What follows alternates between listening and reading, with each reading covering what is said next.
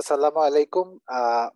CPA বাংলাদেশের post graduate diploma in VAT ম্যানেজমেন্টের second lecture আজকে। আমি সবাইকে স্বাগত জানাচ্ছি আজকের ক্লাসে আমরা শুরুতেই আমাদের আগের ক্লাসে যে আলোচনাগুলো করেছিলাম, এই আলোচনাগুলো একটু রিভিউ করব। রিভিউ করে আজকে আমাদের ক্লাসটি কন্টিনিউ করব। আমি স্ক্রিন শেয়ার করছি।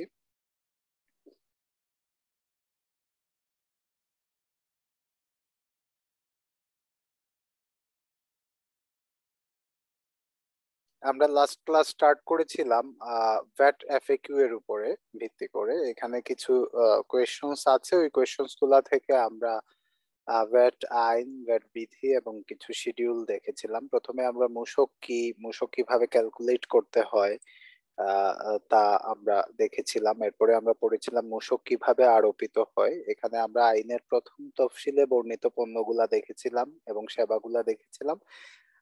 যেগুলার উপরে যেগুলা বাদে মূসকের যে স্ট্যান্ডার্ড রেট আছে পনেরো পার্সেন্ট সেটা আমরা দেখেছি। রপ্তানির ক্ষেত্রে মূসক হচ্ছে জিরো পার্সেন্ট মূসক কে পরিশোধ করেন এ বিষয়ে আমরা আলোচনা করেছিলাম। তারপরে আমরা মূসক দাতাকে এ বিষয়ে আলোচনা করেছি। কেন মূসক পরিশোধ করব আমরা এই বিষয়ে আলোচনা করেছি। নতুন মূসক ব্যবস্থা কবে থেকে চালু হয়েছে এবং মূল মূসক আইন যেটা ছিল বাংলাদেশে উনিশশো একানব্বই সালের পয়লা জুলাই এই বিষয় সম্পর্কে আলোচনা করেছিলাম। মূসকের হারগুলো আলোচনা করেছিলাম। সেই হারগুলো আলোচনা করার সময় আমরা তৃতীয় তফসিলটি দেখেছিলাম। তৃতীয় তফসিলের ক্ষেত্রে যে মূসক হারগুলা আছে সেগুলা দেখেছিলাম। আর মূসকের আদর্শ হার দেখেছি, রপ্তানির ক্ষেত্রে মূসকের হার দেখেছি। আজকে আমরা শুরু করব মূসক নিবন্ধন ও টার্নওভার কোড তালিকাভুক্তির সীমা থেকে।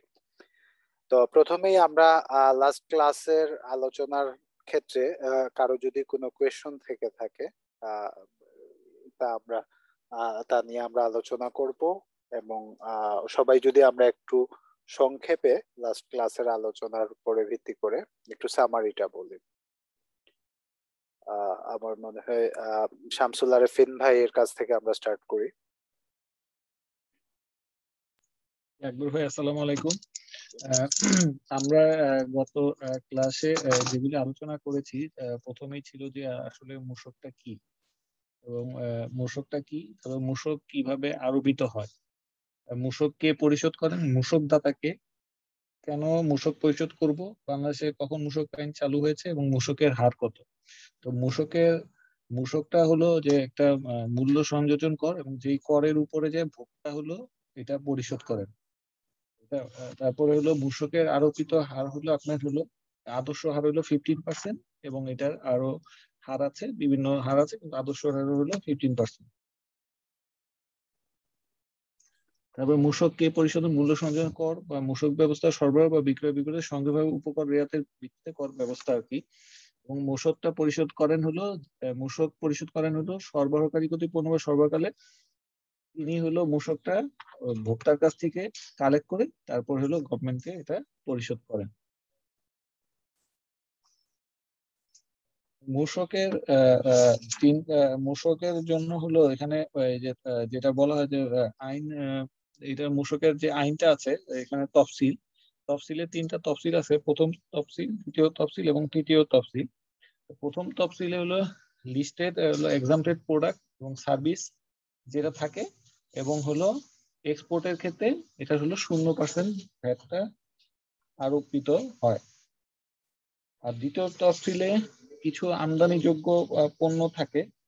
আর তৃতীয় তফসিলে কপিত পণ্য সেবা থাকে, যেগুলি হলো ভ্যাটের হারটা হলো বিভিন্ন ধরনের থাকে। এবং এটা ধারা পনেরোর মাধ্যমে নির্ধারিত হয়। এই হলো এবং নতুন নতুন আইনে ভ্যাটটা ইনক্লুডেড আর পুরাতন আইনে ছিল ভ্যাটটা এক্সক্লুডেড আর ভ্যাটের যেটা আইনটা চালু হয়েছে উনিশশো একানব্বই সালের পহেলা জুলাই, আর ভ্যাট আইনটা এখন নতুন যেটা হচ্ছে সেটা হলো ভ্যাট আইন দুই হাজার বারো। তো এই ছিল আর কি আলোচনার একটা প্রতিবদ্ধ বিষয় ধন্যবাদ শামসুল্লাহ রফিন খান ভাই। আপনার কি কোনো কোয়েশন আছে লাস্ট ক্লাসের আলোচনার উপরে? আলোচনার উপরে আমার একটু ওই যে তফসিলের জিনিসটা একটু একটু ওই যে দ্বিতীয় তফসিলটা এটা এটার ব্যাপারে একটু বিষয় ছিল। আচ্ছা আমরা প্রথম তফসিল এবং তৃতীয় তফসিল আলোচনা করেছিলাম গত ক্লাসে দ্বিতীয় সব তফসিলটি আমরা আলোচনা করিনি। দ্বিতীয় তফসিল যদি আমরা একটু দেখে নেই দ্বিতীয় তফসিলে কি আছে? আমি একটু স্ক্রিন শেয়ার করছি তাহলে দ্বিতীয় তফসিলটি পাওয়া যাবে।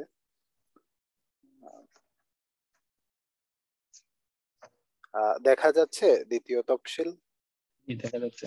আচ্ছা এখানে বলা আছে আমদানি পর্যায়ে সম্পূরক শুল্ক আরোপযোগ্য পণ্য সমূহ এখানে কিন্তু সম্পূরক শুল্কটি কথাটি বলা আছে।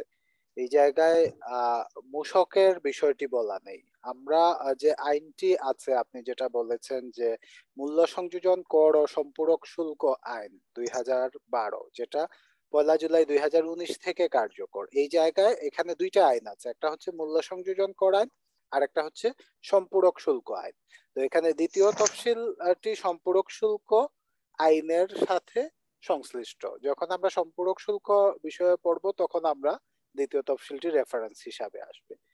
প্রথম তফসিল এবং তৃতীয় তফসিলটি মূল্য সংযোজন করের সাথে সম্পর্কিত, তাই আমরা প্রাথমিক আলোচনায় প্রথম তফসিল এবং দ্বিতীয় তফসিলটি পড়ব।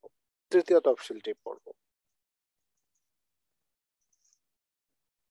যখন আমরা সম্পূরক শুল্ক সম্পর্কে আলাপ করব তখন আমরা এই বিষয়টি পড়ব। তাহলে আমাদের জন্য মানে পুরো এসডি যেটা সাপ্লিমেন্টারি রাইট এস এসডি এর ক্ষেত্রে। এসডি কীভাবে এলো এসডির কার্যকারিতা কীরকম কীভাবে এটা ক্যালকুলেট হয় এটা পুরো আলাদা একটা বিষয়। তো আমরা মূসক সম্পর্কে যে আলাপ করেছি এই আলাপে আমাদের প্রথম তফসিলে যেটা আছে মূল্য সংযোজন কর হইতে অব্যাহতি প্রাপ্ত পণ্য সমূহ এগুলা আছে। আর আমরা তৃতীয় তফসিলে দেখেছি কিছু নির্দিষ্ট হারে মূসক আরোপিত যে পণ্য সমূহ আছে কিংবা সেবা সমূহ আছে, সেগুলা দেয়া আছে। তার বাইরে রপ্তানির ক্ষেত্রে জিরো পার্সেন্ট এবং এই প্রথম এবং তৃতীয় তফসিলে যেসব সেবা এবং পণ্য সমূহের উল্লেখ নেই, ওই সকল পণ্য এবং সেবার ক্ষেত্রে মূসকের হার হবে পনেরো পার্সেন্ট। তাহলে আমরা যদি প্রথম তফসিল এবং তৃতীয় তফসিল যদি আমাদের কাছে থাকে, তাহলে আমাদের আর দুইটা রেট আমাদের জানা আছে। একটা হচ্ছে এক্সপোর্টের ক্ষেত্রে জিরো পার্সেন্ট আর আরেকটা হচ্ছে অন্যান্য সকল ক্ষেত্রে পনেরো পার্সেন্ট তাহলে কিন্তু আমাদের মূল্য সংযোজন করের মূল্য সংযোজন করের যে রেটটা আছে, যে হারটা আছে, এটা সম্পর্কে আমাদের ধারণাটা একেবারেই ক্লিয়ার হয়ে যায়। গত লেকচারের মাধ্যমে আমরা মূল্য সংযোজন করের হার সম্পর্কে একেবারেই পরিষ্কার ধারণা নিতে পারি। কেউ যদি আমাদেরকে জিজ্ঞেস করে যে কোনো একটি পণ্য কিংবা সেবার উপরে মূল্য সংযোজন করের হার কত হবে মানে ভ্যাট রেটটা কত হবে, তাহলে আমরা প্রথমে দেখব এটা প্রথম তফসিলে আছে কি না। যদি প্রথম তফসিলে থাকে, তাহলে এটা কর অব্যাহতি প্রাপ্ত মূল্য সংযোজন কর অব্যাহতি প্রাপ্ত হবে। আর যদি প্রথম তফসিলে না থাকে, তাহলে আমরা তৃতীয় তফসিলে দেখব। যদি তৃতীয় তফসিলে থাকে, তাহলে এটা নির্দিষ্ট কর হার উল্লেখ করা থাকবে তৃতীয় তফসিলে। আর যদি আমরা প্রথম তফসিল এবং তৃতীয় তফসিলে না পাই, তাহলে আমরা দেখব যে এটা এক্সপোর্ট হচ্ছে কিনা। যদি এক্সপোর্টও না হয়, তাহলে এটার কর হার হচ্ছে পনেরো পার্সেন্ট তো আমরা দুইটা তফসিল, প্রথম এবং তৃতীয় তফসিল, যদি আমাদের কাছে থাকে তাহলে আমাদের বাদ বাকি ভ্যাট রেট জানা আছে এক্সপোর্টের ক্ষেত্রে জিরো পার্সেন্ট এবং অন্যান্য সকল ক্ষেত্রে পনেরো পার্সেন্ট আদর্শ ভ্যাট হার। তো আমরা লাস্ট লেকচারে মূলত এই বিষয়টাই আমরা আলোচনা করেছি। তো আবার আমরা যদি আর কোনো কোয়েশন থাকে জিয়ার রহমান মল্লিক ভাই যদি একটু বলেন সামারিটা লাস্ট লেকচারের এবং কোনো কোয়েশন যদি থাকে, তার উপরে ভিত্তি করে। লাস্ট লেকচারে আমরা মূল্য সংযোজন কর নিয়ে শুরু করেছিলাম। মূল্য সংযোজন কর বা ভ্যাট আইনটা কখন প্রবর্তিত হয়েছিল দুই সালে? এরপরে আমরা যেটা কিছু এফএকিউ নিয়ে আমরা আলোচনা করেছি মূল্য সংযোজন কর কীভাবে ক্যালকুলেট করা হয়। মূল্য সংযোজন কর কি ধরনের কর? মূল্য সংযোজন কর কে পরিশোধ করবে? মূল্য সংযোজন করের হার কত? এগুলো আমরা আলোচনা করেছি। মূল্য সংযোজন কর হচ্ছে একটা ইনডাইরেক্ট ট্যাক্স এবং এটা পরিশোধ করবে যে আলটিমেট কনজিউমার বা ভোক্তা পরিশোধ করবে। আর মূল্য সংযোজন কর আমরা কেন পরিশোধ করব এটা সরকারি আদেশ পালন করা বা এবং সরকারি যে উন্নয়নমূলক কর্মকাণ্ডগুলো আছে সেগুলোতে কন্ট্রিবিউট করার জন্যই একজন সুনাগরিক হিসাবে মূল্য সংযোজন কর সকলে পরিশোধ করা উচিত। আর মূল্য সংযোজন করে যদি হারে আসি তাহলে আমরা জেনেছি যে মূল্য সংযোজন করে আদর্শ হার হচ্ছে পনেরো পার্সেন্ট তো এই হার নির্ধারণের ক্ষেত্রে আমরা দুটো তফসিলকে তফসিলের বর্ণনা দেখেছি। আমরা তফসিল একে দেখেছি যে এখানে কিছু পণ্যের তালিকাভুক্তি আছে যে পণ্যগুলো করের আওতাভুক্ত। এর বাইরে যে পণ্যগুলো আছে সেগুলোর উপরে মূল্য সংযোজন কর হবে পনেরো পার্সেন্ট আর আমরা তফসিল তিন দেখেছি যেখানে কিছু যেখানে, এই তফসিল তিনে যে পণ্যগুলো বর্ণনা আছে, সেগুলোর উপরে কিছু রিডিউস রেট বা কিছু স্পেশাল রেটে মূল্য সংযোজন কর অ্যাপ্লাই করা হবে। এর বাইরে আমরা দেখেছি এক্সপোর্টের জন্য মূল্য সংযোজন কর হচ্ছে শূন্য পার্সেন্ট আমার মনে হয় আমরা এই পর্যন্তই গত লেকচারে কভার করেছি। জি থ্যাংক ইউ লাস্ট লেকচারের আলোচনার উপরে কোনো কোয়েশন আছে কিনা আপনার? না আপাতত নেই ঠিক আছে ধন্যবাদ। শুয়েব ভাই যদি একটু বলেন লাস্ট লেকচারের আলোচনা এবং কোনো কোয়েশন থাকলে। জি না কোশ্চেন নাই। মানে আলোচনা যেটা আলোচনা হচ্ছে যে আসলে ভ্যাট অর্ডিন্যান্সটা কবে পাশ হচ্ছে দুই হাজার বারো সালে?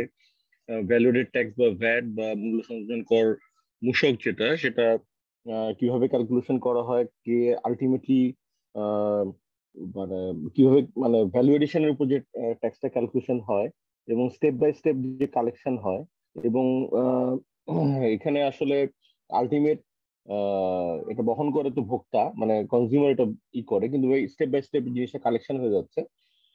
এছাড়া তফসিল প্রথম, দ্বিতীয়, তৃতীয় প্রথম আর তৃতীয়টা আলোচনা হয়েছে। প্রথমটা মিলিয়ে আর কি এক্সেমটেড গুডস অ্যান্ড সার্ভিস নিয়ে একটা লিস্ট দেওয়া আছে। এছাড়া তো সব এক্সপোর্ট ওরিয়েন্টেড যা আছে সবই তো এক্সাম ভ্যাটে পড়ে না মানে জিরো আর তৃতীয় তফসিলে যেটা বলা আছে যে কিছু রিডিউস বা স্পেশাল রেট বলা আছে যেগুলোর উপর ওই রেটে প্রযোজ্য হবে। আইডিয়াল রেট যেটা পড়ল সেটা প্রযোজ্য হবে না। যে রেটটা বলা আছে সেটাই প্রযোজ্য হবে। এই মোটামুটি আলোচনা হয়েছে আর কি। Thank you thank you Shoaib ভাই। আমরা মূল্য সংযোজন কর আইন এবং আয়কর অধ্যাদেশ, আমরা income tax ordinance nineteen eighty four বলে কিংবা মূল্য সংযোজন কর আইন, মূল্য সংযোজন কর ও সম্পূরক শুল্ক আইন দুই হাজার বারো।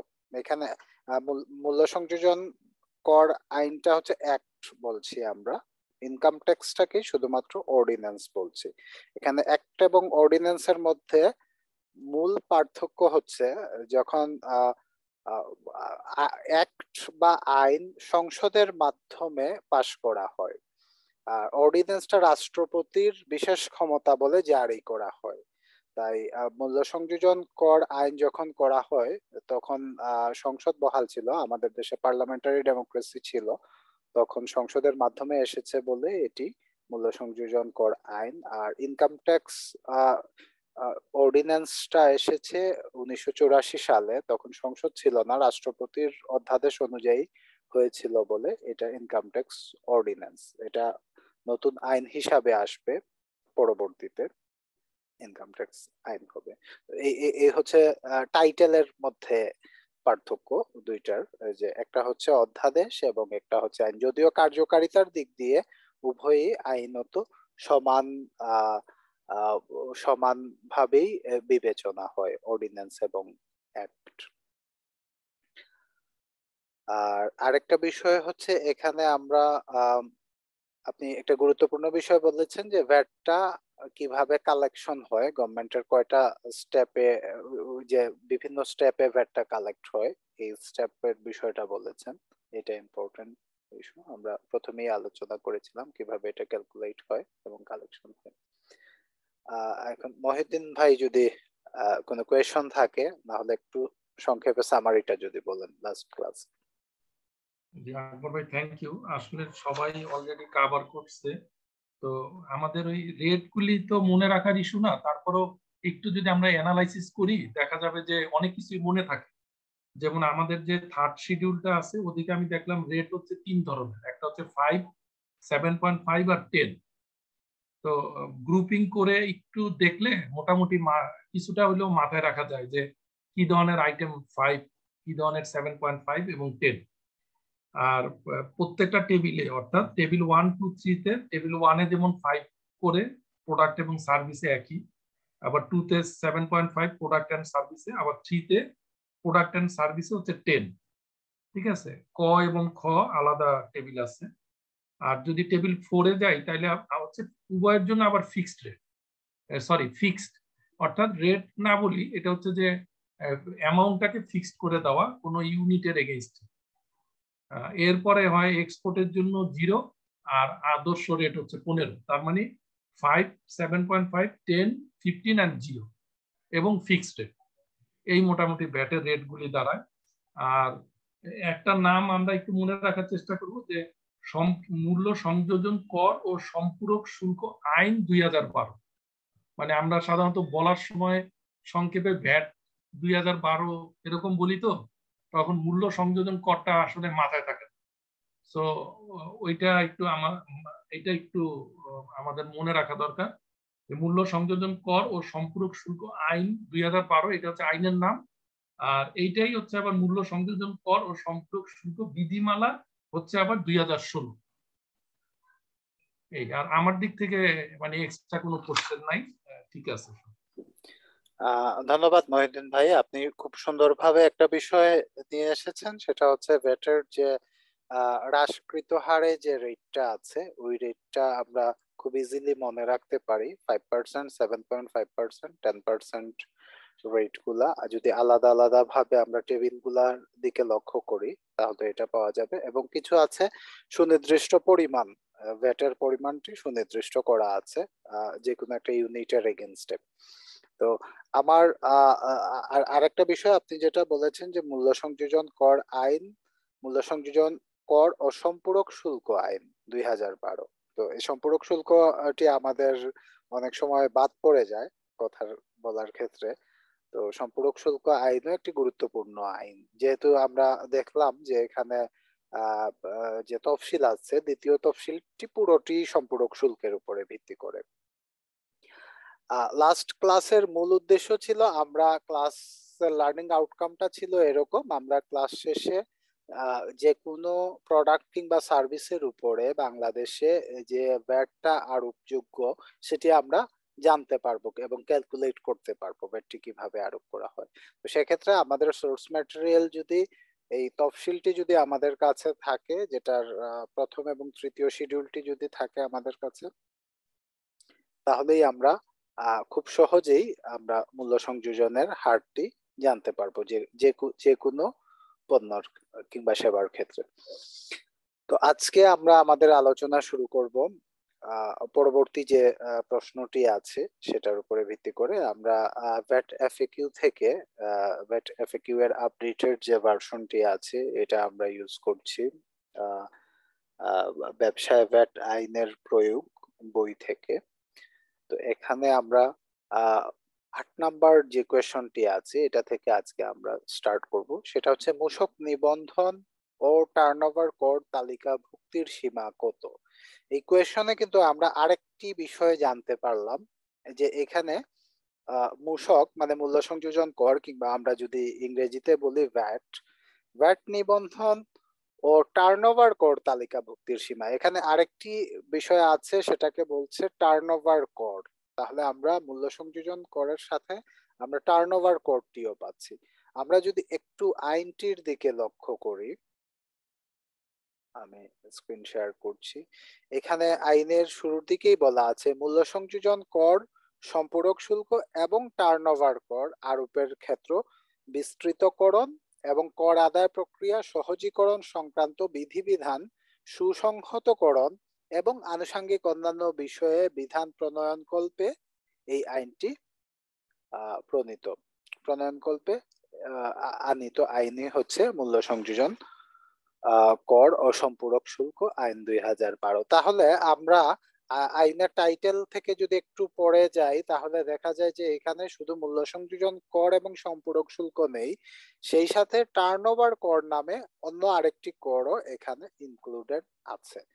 তাহলে আমরা মূল্য সংযোজন কর, যেটা সম্পর্কে আমরা আলোচনা করলাম, গত লেকচারে ক্যালকুলেট করার মেথড জানলাম এবং হারগুলা জানলাম।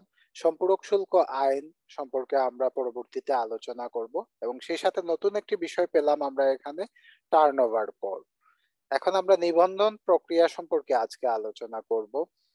মূসক নিবন্ধন ও টার্নওভার কর তালিকাভুক্তির সীমা কত? তার মানে তালিকাভুক্তিটি দুই ধরনের দেখা যাচ্ছে, একটা হচ্ছে মূসক এবং একটা হচ্ছে টার্নওভার কর নতুন মূসক ব্যবস্থায়, নতুন মূসক ব্যবস্থা বলতে আমরা নতুন মূল্য সংযোজন কর ও সম্পূরক শুল্ক আইনকেই বুঝাবো। নতুন মূসক ব্যবস্থায় পঞ্চাশ লক্ষ টাকার ঊর্ধ্বে হতে তিন কোটি টাকা পর্যন্ত টার্নওভার তালিকাভুক্তি সীমা নির্ধারণ করা হয়েছে। এছাড়া তিন কোটি টাকার ঊর্ধ্বের ক্ষেত্রে মূসক নিবন্ধন বাধ্যতামূলক। এছাড়া জাতীয় রাজস্ব বোর্ডের সাধারণ আদেশ নং সতেরো, মূসক দুই তারিখ সতেরো জুলাই দুই হাজার উনিশ খ্রিস্টাব্দ। এর মাধ্যমে কতিপয় পণ্য ও সেবার ক্ষেত্রে টার্নওভার নির্বিশেষে বাধ্যতামূলক নিবন্ধন গ্রহণের বাধ্যবাধকতা আরোপ করা হয়েছে। তাহলে এখানে আমরা তিনটা বিষয় দেখতে পাচ্ছি।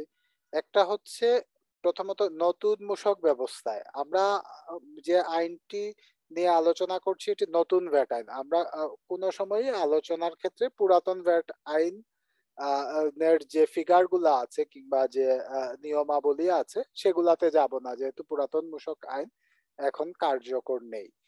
তো নতুন মূসক ব্যবস্থায় পঞ্চাশ লক্ষ টাকার ঊর্ধ্ব হতে তিন কোটি টাকা পর্যন্ত। যাদের টার্ন বছরে পঞ্চাশ লক্ষ টাকার ঊর্ধ্ব হতে তিন কোটি টাকা পর্যন্ত তারা টার্নওভার তালিকাভুক্তির সীমায় থাকবেন। তিন কোটি টাকার উপরে হলে মূল্য সংযোজন কর বা মূসক নিবন্ধন বাধ্যতামূলক। এছাড়াও একটা সার্কুলারের কথা বলা আছে এখানে। ওই সার্কুলারের মাধ্যমে যে সকল পণ্য এবং সেবার ক্ষেত্রে মূসক নিবন্ধন বাধ্যতামূলক করা হয়েছে। তারা মূসক নিবন্ধন করতেই হবে ওই সকল পণ্য এবং সেবার ক্ষেত্রে। তো আমরা যে সকল পণ্য এবং সেবা এখানে জাতীয় রাজস্ব বোর্ডের সাধারণ আদেশের মাধ্যমে বাধ্যতামূলক করা হয়েছে, সে সকল পণ্য বা সেবার ক্ষেত্রে মূসক নিবন্ধন করতে হবে। আর তিন কোটি টাকার উপরে টার্নওভার হলে মূসক নিবন্ধন করতে হবে। আর টার্নওভার পঞ্চাশ লক্ষ টাকার ঊর্ধ্বে হলে টার্নওভার ট্যাক্সের জন্য তালিকাভুক্তি করতে হবে। তাহলে এখানে দুইটা তালিকাভুক্তির জন্য তিনটি ক্রাইটেরিয়া আছে। একটা হচ্ছে পঞ্চাশ লক্ষ থেকে তিন কোটির মধ্যে হলে টার্নওভার ট্যাক্সের জন্য তালিকাভুক্তি করতে হবে। যদি তিন কোটির উপরে হয় তাহলে মূসক নিবন্ধন করতে হবে। আর যদি ওই পণ্য বা সেবা ব্যবসার ক্ষেত্রে যে পণ্য বা সেবা আছে, তা যদি জাতীয় রাজস্ব বোর্ডের সাধারণ আদেশ নং সতেরোর আওতায় হয়, তাহলে সেক্ষেত্রে ভ্যাট নিবন্ধন করতে হবে। সেক্ষেত্রে যদি আমরা ভ্যাট নিবেন যদি দেখা যায় টার্ন ওভার পঞ্চাশ লক্ষ টাকার উপরে নেই, তারপরেও টার্নওভার ট্যাক্স এর জন্য রেজিস্ট্রেশন মূসকের জন্য রেজিস্ট্রেশন করতে হবে। তো আমরা এখন যে জেনারেল অর্ডার যেটি আছে জাতীয় রাজস্ব বোর্ডের অর্ডার নাম্বার সেভেন্টিন এই অর্ডার নাম্বার সেভেন্টিনটি আমরা একটু দেখব যে অর্ডার নাম্বার সেভেন্টিনে কি বলা আছে।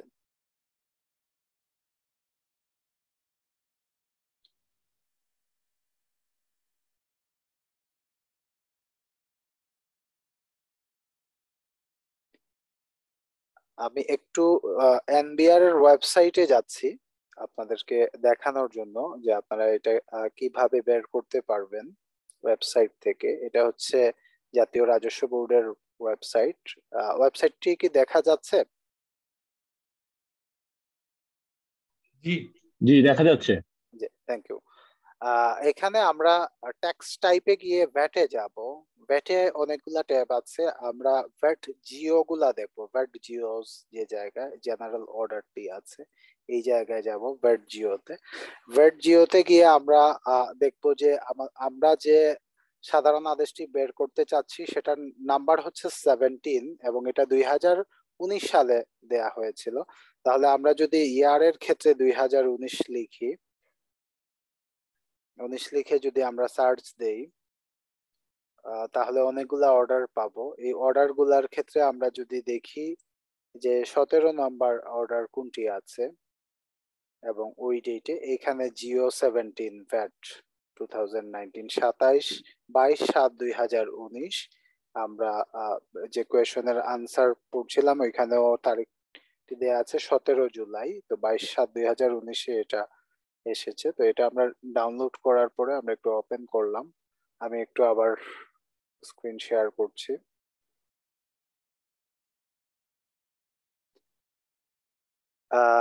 এটা বাংলাদেশ গেজেটে পরবর্তী বিশেষ সংখ্যায় প্রকাশিতব্য বলে বলা আছে। সাধারণ আদেশ সতেরো, মূসক দুই হাজার উনিশ, তারিখ হচ্ছে সতেরো জুলাই দুই হাজার উনিশ।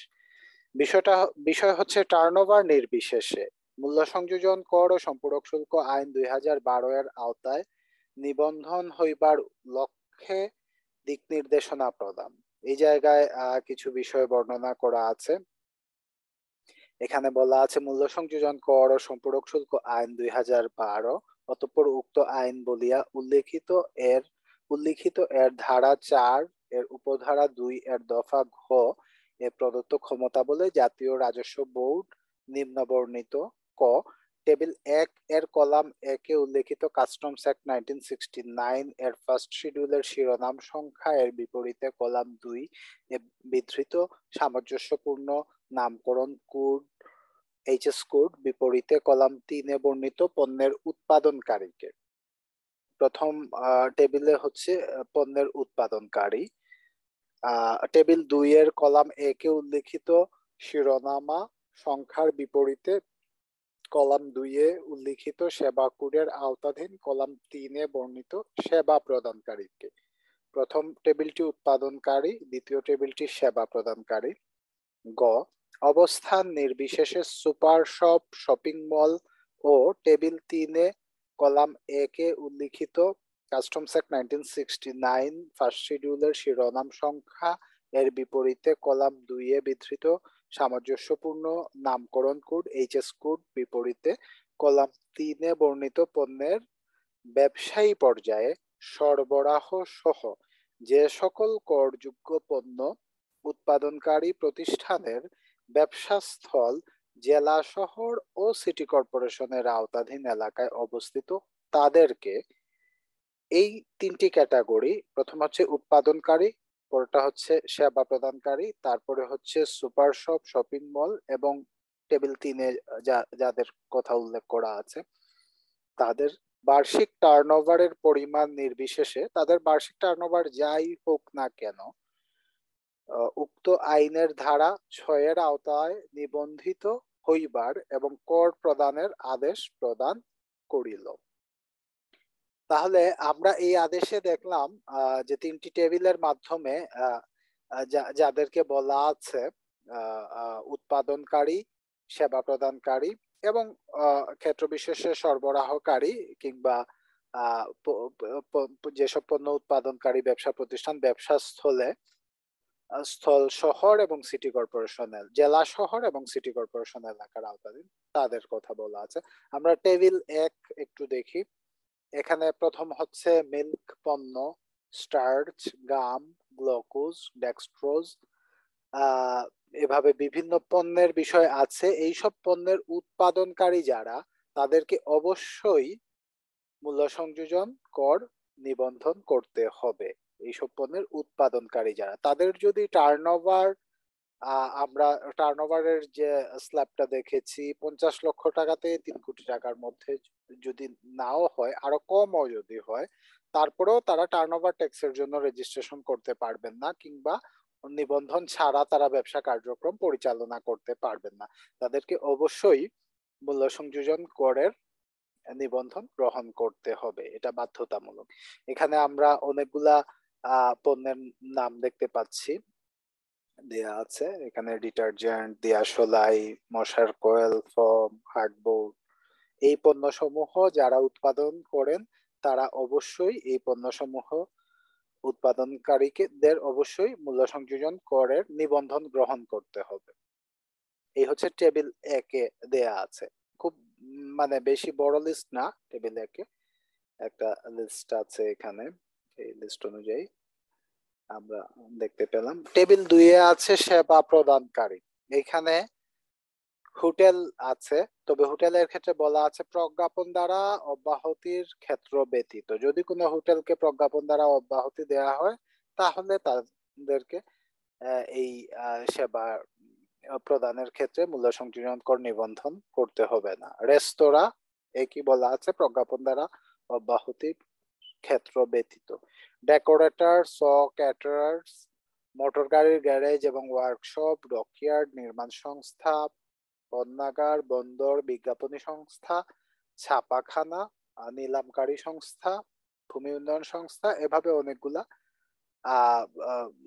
সেবা প্রদানকারী প্রতিষ্ঠানের নাম দেয়া আছে এখানে। Consultancy firm O supervisory firm audit and accounting firm shipping agent আমি মাঝখান থেকে পড়ছি একটা দুইটা করে। ইঞ্জিনিয়ারিং ফার্ম ব্যাংকিং ও নন ব্যাংকিং সেবা প্রদানকারী। এখানে অনেকগুলা সেবার বিষয় বলা আছে। অনলাইনে পণ্য বিক্রয়, অনলাইনে পণ্য বিক্রয় করলেও অবশ্যই ভ্যাট নিবন্ধন করতে হবে। ক্রেডিট রেটিং এজেন্সি এখানে একটা নতুন টার্ম আছে রাইড শেয়ারিং তথ্য প্রযুক্তি নির্ভর সেবা কোচিং সেন্টার ইমিগ্রেশন উপদেষ্টা। এইসব সেবা প্রদানকারীকে অবশ্যই ভ্যাট নিবন্ধিত হতে হবে। তাদের যদি টার্নওভার কমও হয়, তাহলেও ভ্যাট নিবন্ধন করতে হবে, এটা বাধ্যতামূলক। টেবিল তিন টেবিল তিনে কিছু পণ্যের কথা বলা আছে সিমেন্ট সকল প্রকার সিরামিক এবং পোর্সেলিনের তৈরি পণ্য জিপি শিট সিআই শিট এভাবে অনেকগুলা প্রোডাক্টের কথা বলা আছে টেবিল তিনে।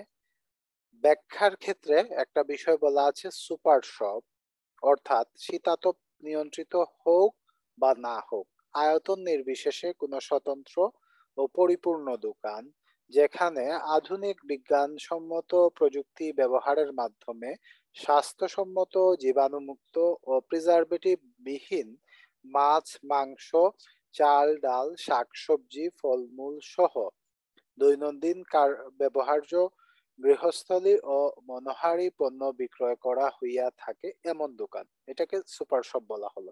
সুপার শপ মানে আমরা যেটা একটু আধুনিক যে স্টোরগুলা আছে, ওই স্টোর গুলাকে সুপার শপের হিসাবে সংজ্ঞায়িত করা হয়েছে এখানে। শপিং মল অর্থ একই বিল্ডিং বা স্থাপনা বা সীমানার মধ্যে অবস্থিত। একাধিক দোকান বা রেস্তোরাঁ বা সুপার শপ বা বিনোদনের সুবিধা সম্বলিত স্থান, যেইখানে প্রয়োজনীয় জিনিসপত্র কেনাকাটার সুযোগ রহিয়াছে। শপিং মলের ডেফিনেশনটা এখানে ব্যাখ্যায় বলা আছে। আর বলা আছে, এই আদেশ সতেরো আষাঢ় চোদ্দশো ছাব্বিশ বঙ্গাব্দ, অর্থাৎ পয়লা জুলাই দুই হাজার উনিশ খ্রিস্টাব্দ তারিখ হইতে কার্যকর হইয়াছে বলে গণ্য হইবে। এখানে যেহেতু আমাদের মূল্য সংযোজন কর ও সম্পূরক শুল্ক আইন দুই হাজার বারো কার্যকর হয়েছে পয়লা জুলাই দুই হাজার উনিশ থেকে। তাহলে সতেরো জুলাইয়ে এই আদেশের মাধ্যমে এই আদেশটি পয়লা জুলাই দুই উনিশ থেকে কার্যকর হইয়াছে বলে গণ্য হবে। এই আদেশটি জারি হয়েছে পরবর্তীতে কিন্তু এটার কার্যকারিতা হচ্ছে পয়লা জুলাই দুই হাজার উনিশ হতে। তাহলে আমরা দেখতে পেলাম এখানে যে পণ্য কিংবা সেবার উৎপাদনকারী কিংবা সেবা প্রদানকারী কিংবা সরবরাহকারী যারা আছেন, তাদেরকে আবশ্যিকভাবে মূল্য সংযোজন করের আওতায় নিবন্ধন গ্রহণ করতে হবে। আমি আবার আমাদের কোয়েশন আনসারের যে এফএকিউ এর স্লাইডটি শেয়ার করছি। এখানে আমরা আট নাম্বার কোয়েশনে ছিলাম। মূসক নিবন্ধন ও টার্নওভার কোড তালিকাভুক্তির সীমা কত? এটার আনসার আমরা জানলাম এবং এই জায়গায় গিয়ে আমরা একটু নতুন ডকুমেন্ট পেলাম। সেটা হচ্ছে জাতীয় রাজস্ব বোর্ডের সাধারণ আদেশ নং সতেরো, দুই হাজার উনিশ। এই আদেশে যাদের কথা উল্লেখ আছে তাদেরকে ভেট রেজিস্ট্রেশন করতে হবে। যাদের টার্নওভার তিন কোটি টাকার উপরে তাদেরকে ভেট রেজিস্ট্রেশন করতে হবে। যাদের টার্নওভার পঞ্চাশ লক্ষ টাকার উপরে কিন্তু তিন কোটি টাকার নিচে তারা টার্নওভার ট্যাক্সের জন্য তালিকাভুক্ত হতে পারবেন। এই হচ্ছে সারা বছরে তাই না? জি অ্যানুয়াল টার্নওভার টার্নওভার বলতে বার্ষিক টার্নওভার বার্ষিক টার্নওভার এখন আমরা এই কোয়েশনের আনসারের ক্ষেত্রে কিংবা এখানে যে সাধারণ আদেশটি আছে এই এই ক্ষেত্রে যদি কোনো আলোচনা থাকে কিংবা কোনো কোয়েশন থাকে কারও? শপিং মলটা বুঝলাম। ধরেন বিভিন্ন বাজার থাকে না এলাকার বাজার। এই বাজার আর শপিং মল কি আলাদা ধরা হবে? বাজার কি এটার বাইরে? জি।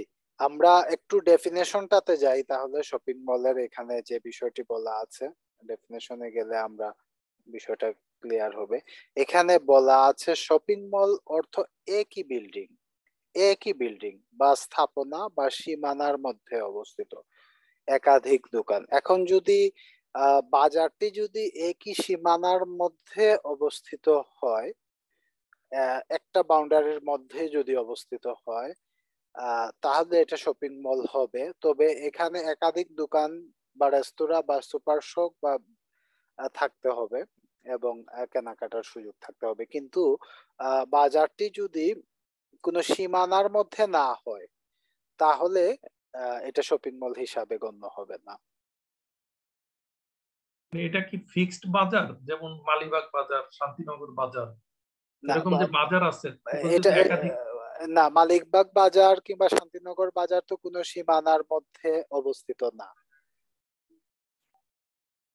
আমরা যদি আচ্ছা।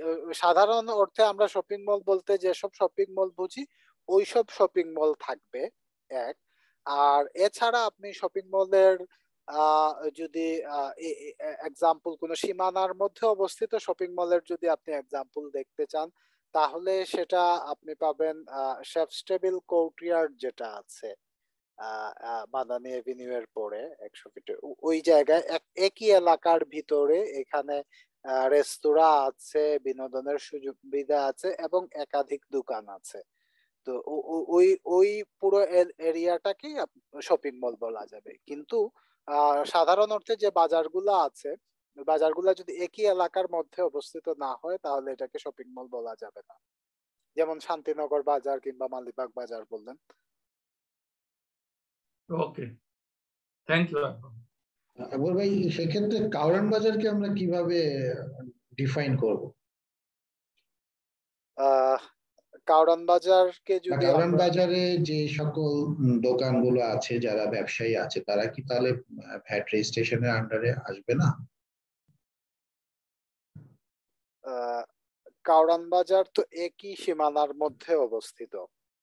কিংবা যদি আমরা বলি যে সেক্ষেত্রে আপনার এখানে রেজিস্ট্রেশনের মানে আইন অনুযায়ী এটা যেহেতু একটা অথরিটি কন্ট্রোল করছে পুরো ইয়েটি তাহলে এটাও শপিং মল হিসাবেই আসবে।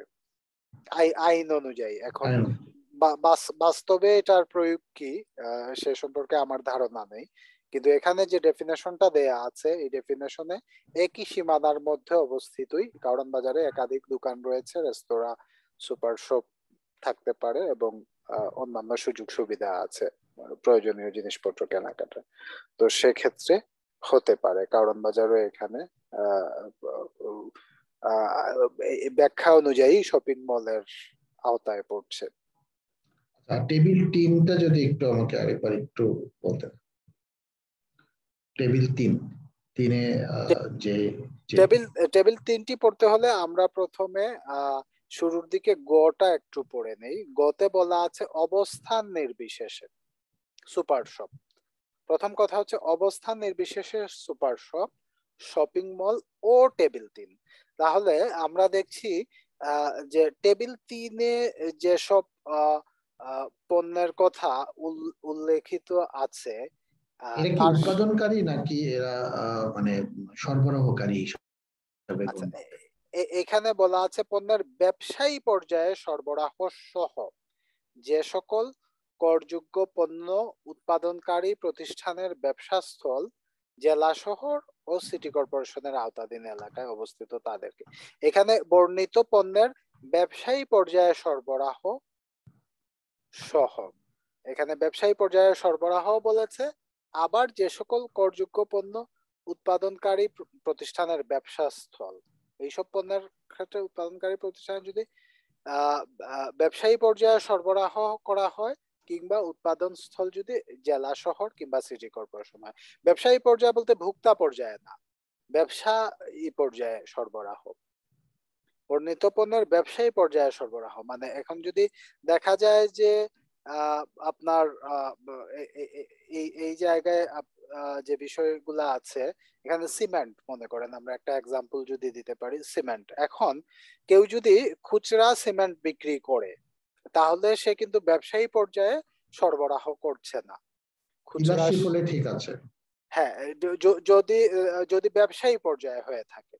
ব্যবসায়ী পর্যায়ে হলে সেক্ষেত্রে হবে। জিপি শিট কিংবা অ্যালুমিনিয়াম ফিটিংস, এয়ার কন্ডিশনার ব্যবসায়ী পর্যায়ে হয়ে থাকে। এটা হচ্ছে একটা বিষয় সরবরাহকারীর ক্ষেত্রে। আর পণ্য উৎপাদনকারীর যদি ব্যবসা স্থল জেলা শহরে হয় কিংবা সিটি কর্পোরেশনের আওতাধীন অবস্থায় হয়। যদি পণ্য উৎপাদনকারীর প্রতিষ্ঠানের ব্যবসা স্থল জেলা শহরের বাইরে হয় কিংবা ব্যবসা স্থল কিংবা সিটি কর্পোরেশন বাইরে হয়, তাহলে সেটা প্রযোজ্য হবে না। তো টেবিল তিনটি আমরা দেখলাম। প্রথমত টেবিল তিনের সাথে সুপার শপ এবং শপিং মল ইনক্লুডেড আছে। তারপরে হচ্ছে টেবিল তিন। টেবিল তিনে যেসব পণ্য কথা বলা হয়েছে, বর্ণিত পণ্যের ব্যবসায়ী পর্যায়ে সরবরাহ সহ যে সকল করযোগ্য পণ্য উৎপাদনকারী প্রতিষ্ঠানের ব্যবসা স্থল জেলা শহর ও সিটি কর্পোরেশনের আওতাধীন অবস্থায় অবস্থিত, তাদের ক্ষেত্রে এটা প্রযোজ্য হবে। আর কোনো কোয়েশন আছে?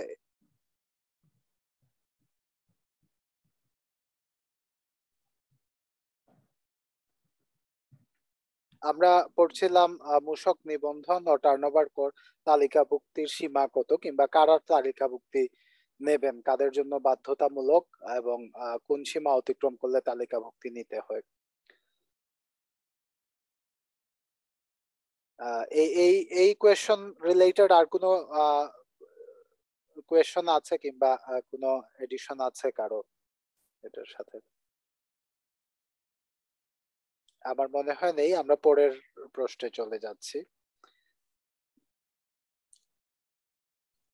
নয় নম্বর কোয়েশন আমি কীভাবে বুঝব যে আমার ব্যবসায় মূসক প্রযোজ্য হবে কি না আইনের প্রথম তফসিলে বর্ণিত পণ্য বা সেবা যদি আপনার অর্থনৈতিক কার্যক্রমের আওতাভুক্ত হয়, তাহলে আইন অনুসারে আপনার ব্যবসায় মূসকের বাধ্যবাধকতা উদ্ভব হবে না। তাছাড়া আপনার ব্যবসায়ের বার্ষিক টার্নওভারের ভিত্তিতে মূসক প্রযোজ্যতা নির্ধারণ করতে পারবেন। তবে আপনার ব্যবসায়ের বার্ষিক টার্নওভার যাই হোক না কেন, আপনি চাইলে মূসক নিবন্ধন গ্রহণ করে মূসক প্রদান করতে পারবেন। এখানে একটা গুরুত্বপূর্ণ বিষয় আছে। প্রথম তফসিলে যেগুলা দেয়া আছে পণ্য বা সেবা, এগুলা মূসকের আওতামুক্ত বলা আছে। এটা আমরা জানি, আমরা গত দিনের আলোচনায় আমরা এই বিষয়টি পরিষ্কার হয়েছে আমাদের কাছে। এছাড়া টার্নওভারের ভিত্তিতে আমরা এর আট নাম্বার কোয়েশ্চন আনসারে আমরা যেটা দেখলাম যে টার্নওভারের ভিত্তিতে আমরা মূসক নিবন্ধনের প্রযোজ্যতা আমরা নির্ধারণ করতে পারব। সেক্ষেত্রে টার্ন ওভার পঞ্চাশ লক্ষ টাকা থেকে তিন কোটি টাকা হলে আমরা টার্নওভার করে তালিকাভুক্ত হব। আর যদি তিন কোটির উপরে হয় তাহলে মূসক নিবন্ধন বাধ্যতামূলক। আবার যেটা জিও সেভেন্টিনে দেয়া আছে সেই জিও সেভেন্টিন অনুযায়ী যাদের পণ্য কিংবা সেবা প্রদানকারী প্রতিষ্ঠানকে মূসক নিবন্ধন বাধ্যতামূলক করা আছে। তবে এখানে বলা আছে যে আপনার ব্যবসায় বাৎসরিক টার্নওভার যাই হোক না কেন, আপনি চাইলে মূসক নিবন্ধন গ্রহণ করে মূসক প্রদান করতে পারবেন। এই বিষয়টি গুরুত্বপূর্ণ। মনে করেন কারও বার্ষিক টার্নওভার পঞ্চাশ লক্ষ টাকার নিচে আছে, সেও চাইলে মূসক নিবন্ধন করতে পারবে ওই ব্যবসায়ী। এবং কোনো ব্যবসায়ীর যদি বার্ষিক টার্নওভার পঞ্চাশ লক্ষ টাকা থেকে তিন কোটি টাকার মধ্যে থাকে, তাহলে ওই ব্যবসায়ী টার্নওভার ট্যাক্সের জন্য তালিকাভুক্ত হতে পারবেন, আবার উনি যদি চান, তাহলে মূসকের জন্য তালিকাভুক্ত হতে পারবেন। তো এই বিষয়টি নয় নম্বর কোয়েশনের আনসারে পরিষ্কার করা হয়েছে। এই রিলেটেড কোনো কোয়েশন আছে কিনা কিংবা এই বিষয়টি পরিষ্কার হয়েছে কিনা আপনাদের কাছে?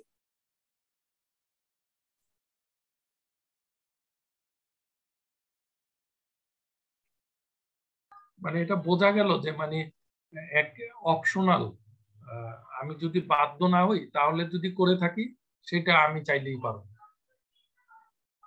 সেক্ষেত্রে কি আমি কি রেজিস্ট্রেশন করব? মূসক প্রদান করব না? এরকম একটা ব্যাপার। দেখা গেল কোন একটা বিজনেস বিশ লাখ টাকা অ্যানুয়াল টার্ন সে মূসক নিবন্ধন করা। তাহলে কি সে কোনো মূসক প্রদান করবে না করবে না? শুধু রেজিস্ট্রেশনটাই থাকে কোনটা? রেজিস্ট্রেশন করলে অবশ্যই রিটার্ন সাবমিট করতে হবে। রিটার্ন সাবমিট করলে অবশ্যই যদি মূসকের জন্য নিবন্ধিত হন এবং মূসক যেহেতু উনি রেজিস্ট্রার থাকবেন, সেহেতু উনি মূসক আদায় করতে বাধ্য নির্ধারিত হার অনুযায়ী, সেহেতু উনি মূসক প্রদান করতেও বাধ্য। মূসক যদি উনি আদায় করে থাকেন রেজিস্ট্রেশন করে, তাহলে উনাকে প্রদান করতে হবে। মূসক নিবন্ধন করলে মূসক প্রদান করতে হবে। কারণ মূসক তো উনি নিজে প্রদান করবেন না মূসক তো উনি আদায় করে তারপরে প্রদান করবেন। মূসক নিবন্ধিত হলে মূসক আদায়ও করতে হবে মূসক প্রদান করতে হবে। সেক্ষেত্রে আপনার টার্নওভার যাই হোক না কেন। তবে মূসক নিবন্ধনের ক্ষেত্রে তখন বলা যা, হয় যে আপনি মূসক নিবন্ধন আপনার জন্য বাধ্যতামূলক কিনা, ওই জায়গায় উনি উল্লেখ করবেন যে মূসক নিবন্ধন ওই ব্যবসা প্রতিষ্ঠানের জন্য বাধ্যতামূলক না। আমরা যখন ভ্যাট রেজিস্ট্রেশনের ইয়েতে যাব অ্যাপ্লিকেশন ফর্মটা আমরা যখন দেখব তখন ওই জায়গায় বিষয়টি ক্লিয়ারলি মেনশন করা থাকে। আমার মনে হয় আমরা পরের কোয়েশনে যাই এখন। দশ নম্বর কোয়েশন নতুন মূসক আইনের আওতায় কর কাকে বলে? আচ্ছা মূসক আইন বলতে মূল্য সংযোজন কর আইন বলছে। এর আওতায় কর কাকে বলে? নতুন মূসক আইনের আওতায় কর বলতে মূসক টার্নওভার কর ও সম্পূরক শুল্ক এবং বকেয়া আদায়ের উদ্দেশ্যে সুদ, জরিমানা ও অর্থদণ্ডকে বুঝাবে। এখানে ছয়টি বিষয়ের কথা বলা আছে। একটা হচ্ছে মূসক যেটি আছে, আমরা ভ্যাট বলি। এটাও কর। টার্নওভার ট্যাক্স যেটা বলা হচ্ছে টার্নওভার কর এটাও হচ্ছে কর সম্পূরক শুল্কটাকেও আমরা কর বলছি। এবং যদি কোনো সুদ, জরিমানা, অর্থদণ্ড থাকে, তাহলে এটাও আমরা কর হিসাবেই সংজ্ঞায়িত করছি। তার মানে নতুন মূসক আইনে করের সংজ্ঞার মধ্যে মূসক, যেটা আমরা সংক্ষেপে ইংরেজিতে ভ্যাট বলি টার্নওভার ট্যাক্স এবং সম্পূরক শুল্ক, যেটাকে আমরা এসডি বলি। এই সাথে সুদ জরিমানা এবং অর্থদণ্ড। এই ছয়টি বিষয়ই কর হিসাবে গণ্য হবে নতুন মূসক আইনে। মূসক ব্যবস্থায় ভোক্তার দায়িত্ব কি? আচ্ছা এখন আমরা ভোক্তা যদি হই, তাহলে ভোক্তা হিসাবে দায়িত্বটি কি ভোক্তা? এটা খুব গুরুত্বপূর্ণ বিষয়। ভোক্তা পণ্য বা সেবা ক্রয়ের সময় বিক্রেতার নিকট হতে কর চালানপত্র বুঝে নেয়াই একজন ভোক্তার দায়িত্ব। আমরা যখন একজন বিক্রেতার নিকট থেকে কোনো পণ্য বা সেবা গ্রহণ করব, তখন আমরা কর চালানপত্র অবশ্যই গ্রহণ করব। কেননা, তিনি যদি ঠিকমতো মূসক চালান বুঝে নেন, তাহলে এই চালানে অন্তর্ভুক্ত মূসক সরকারি কোষাগারে যথাযথভাবে জমা নিশ্চিত করা যাবে। মনে করেন আমরা মিষ্টির দোকান থেকে মিষ্টি কিনলাম। এখন আমরা যদি মিষ্টি কেনার পরে আমরা যদি এটার ক্ষেত্রে যে মূসক চালানটি আছে, ওই চালানটি যদি আমরা রিসিভ না করি, তাহলে বিক্রেতা চাইলে এই মূসকটি অ্যাভয়েডও করতে পারে। এই বিক্রয়টি অ্যাভয়েডও করতে পারে। কিন্তু আমরা যখন মূল্যটি পরিশোধ করলাম, ওই মূল্যের মধ্যে কিন্তু মূসকটি ইনক্লুডেড আছে। সেহেতু আমাদেরকে অবশ্যই চালানটি রিসিভ করতে হবে। আমরা চালান রিসিভ করা মানেই হচ্ছে মূসকটি যথাযথভাবে সরকারি কোষাগারে জমা হয়েছে। আমরা মূসক প্রদান করছি ভুক্তা হিসাবে। বিক্রেতার দায়িত্ব মূসক সরকারি কোষাগারে জমা দেওয়া। এখন ভুক্তা যদি মূসক চালান রিসিভ না করেন, তাহলে ভুক্তা তার দায়িত্ব পালন করলেন না এবং এই ভুক্তা যে মূসকটি প্রদান করলেন, এটা সরকারি কোষাগারে যথাযথভাবে জমা হলো কিনা তা কিন্তু নিশ্চিত হওয়া গেল না। তাই ভোক্তার দায়িত্ব হচ্ছে মূসক ব্যবস্থায় অবশ্যই চালানটি বুঝে নেয়া। একজন বিক্রেতা মূসক চালানপত্র না দিতে চাইলে ক্রেতা কি করতে পারে? এখানে একটা গুরুত্বপূর্ণ বিষয় আছে। যদি একজন বিক্রেতা মূসক চালানপত্র দিতে না চান, তাহলে কি করবেন? মূসক চালানপত্র প্রদান করা যেমন একজন বিক্রেতার দায়িত্ব, তেমনি চালানপত্র ঠিকভাবে বুঝে নেওয়াও একজন ক্রেতার দায়িত্ব। কোনো কারণে বিক্রেতা মূসক চালানপত্র দিতে না চাইলে তিনি এ দায়িত্ব সম্পর্কে বিক্রেতাকে অবহিত করবেন। কেননা, ঠিকমতো মূসক চালান বুঝে নেওয়া হলে চালানে অন্তর্ভুক্ত মূসক সরকারি কোষাগারে যথাযথভাবে জমা হবে। এরপরেও বিক্রেতা মূসক চালানপত্র দিতে না চাইলে তিনি মূসক কর্তৃপক্ষকে বিষয়টি অবহিত করতে পারেন অথবা নিকটবর্তী মূসক কর্তৃপক্ষকেও জানাতে পারেন। এছাড়া এখানে একটা লিংক বলা আছে। তিনি Facebook dot com VAT online BD পেজে বা কন্ট্যাক্ট সেন্টার একটি নাম্বার দেয়া আছে one six five five five এ অভিযোগ করতে পারেন। তো এখানে দেখা গেল যে জাতীয় রাজস্ব বোর্ড আমাদেরকে বলে দিল যে আমরা ভুক্তা হিসাবে যদি আমরা বিক্রেতার নিকট হতে মূসক চালান না পাই, তাহলে প্রথমে আমরা বিক্রেতাকে সেটা জানাব যে ওনার দায়িত্ব মূসক চালান প্রদান করা। যদি তারপরেও বিক্রেতা মূসক চালানটি দিতে না দেন, তাহলে আমরা মূসক কর্তৃপক্ষকে আমরা অবহিত করব। সেক্ষেত্রে আমরা অনলাইনের মাধ্যমেও জানাতে পারি, কল সেন্টারের মাধ্যমেও আমরা জানাতে পারি, কিংবা সরাসরি আমরা সংশ্লিষ্ট মূসক অফিসেও আমরা জানাতে পারি, ভেট অফিসেও জানাতে পারি। এই এই হচ্ছে ভোক্তার দায়িত্ব মূসক ব্যবস্থায়। এই কোয়েশনগুলার আলোকে যদি কোনো সাপ্লিমেন্টারি কোয়েশন থাকে আপনাদের, তাহলে আমরা আলোচনা করতে পারি।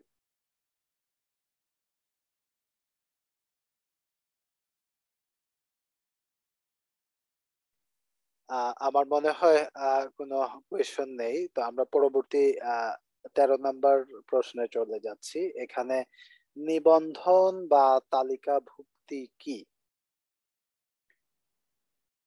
মূল্য সংযোজন কর ব্যবস্থায় যে কোনো আমদানিকারক, রপ্তানিকারক বা করযোগ্য সরবরাহ প্রদানকারীকে মূসক ব্যবস্থার সাথে সম্পৃক্ত হতে হয়।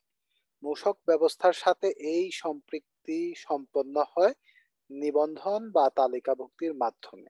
তাকে মূসক আইনের আওতায় নির্ধারিত পদ্ধতিতে ব্যবসায়িক পরিচিতি নম্বর গ্রহণ করে মূসক আইনের প্রতিপালন করতে হয়। মূসক আইনের আওতায় নির্ধারিত পদ্ধতিতে ব্যবসায়িক পরিচিতি নম্বর গ্রহণ করাকে নিবন্ধন বা তালিকাভুক্তি বলা হয়। এখানে ভ্যাট রেজিস্ট্রেশনের কথা বলা হয়েছে। ভ্যাট রেজিস্ট্রেশন যদি যাদের করা বাধ্যতামূলক কিংবা যারা করতে আগ্রহী তারা ভ্যাট রেজিস্ট্রেশন করবেন। ভ্যাট রেজিস্ট্রেশন করে একটা ব্যবসায়িক পরিচিতি নাম্বার, নম্বর গ্রহণ করবেন।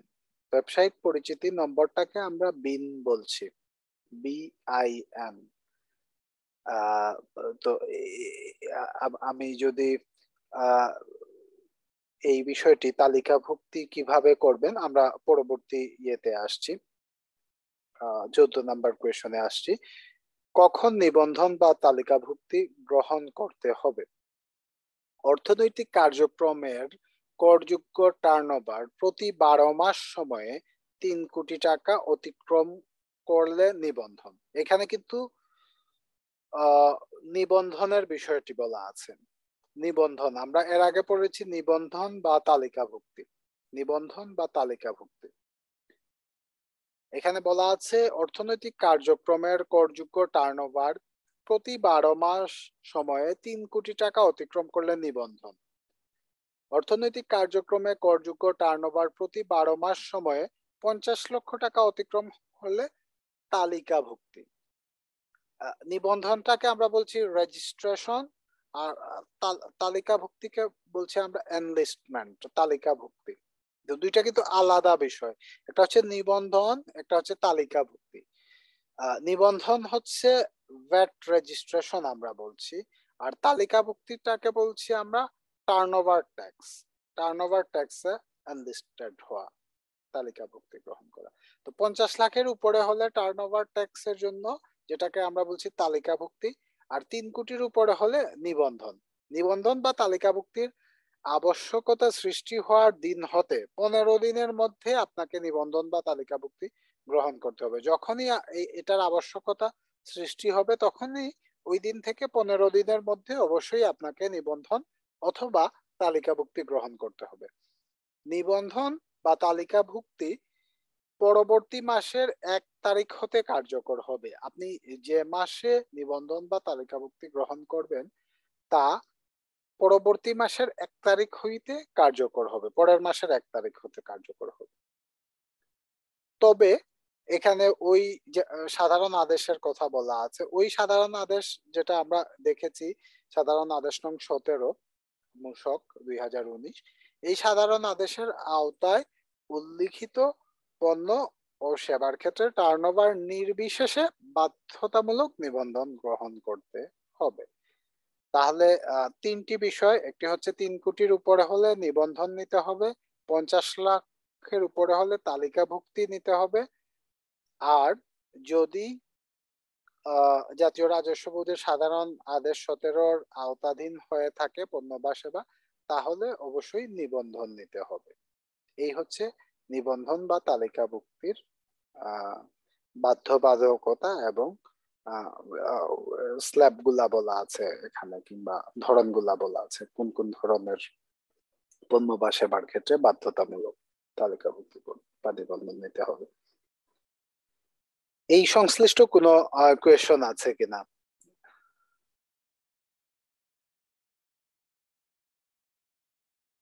আমরা আজকের লেকচারের মূল বিষয়টি হচ্ছে গতদিন আমরা আলোচনা করেছিলাম ভ্যাটের হারটা কি, কোন পণ্য বা কোন সেবায় মূসকের রেটটা কি হবে।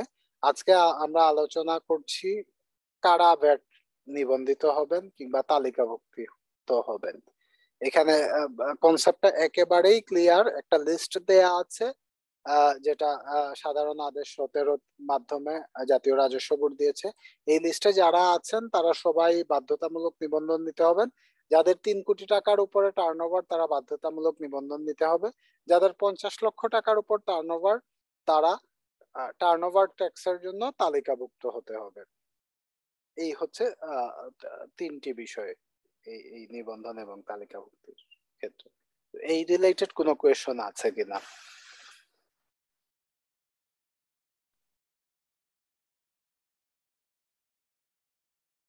আমার মনে হয় এটা ক্লিয়ার সবার কাছে। আমরা পরের ইয়েতে চলে যাই।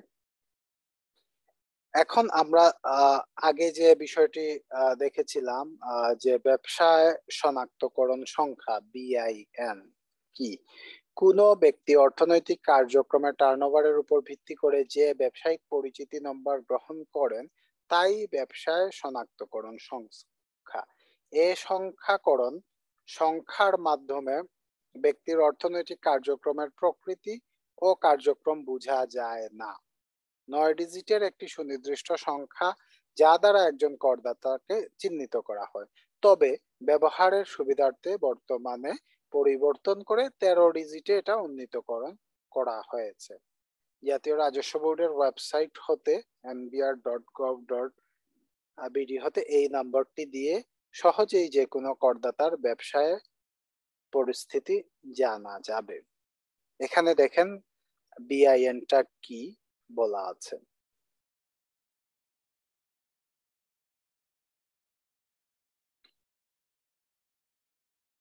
এই বিষয়ে কি কারও কোনো কোয়েশন আছে কিনা? বিন সম্পর্কে।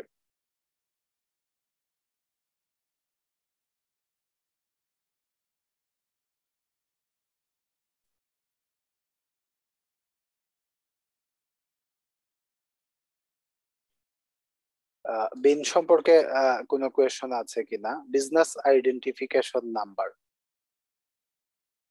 ঠিক আছে ভাই আচ্ছা তাহলে আমরা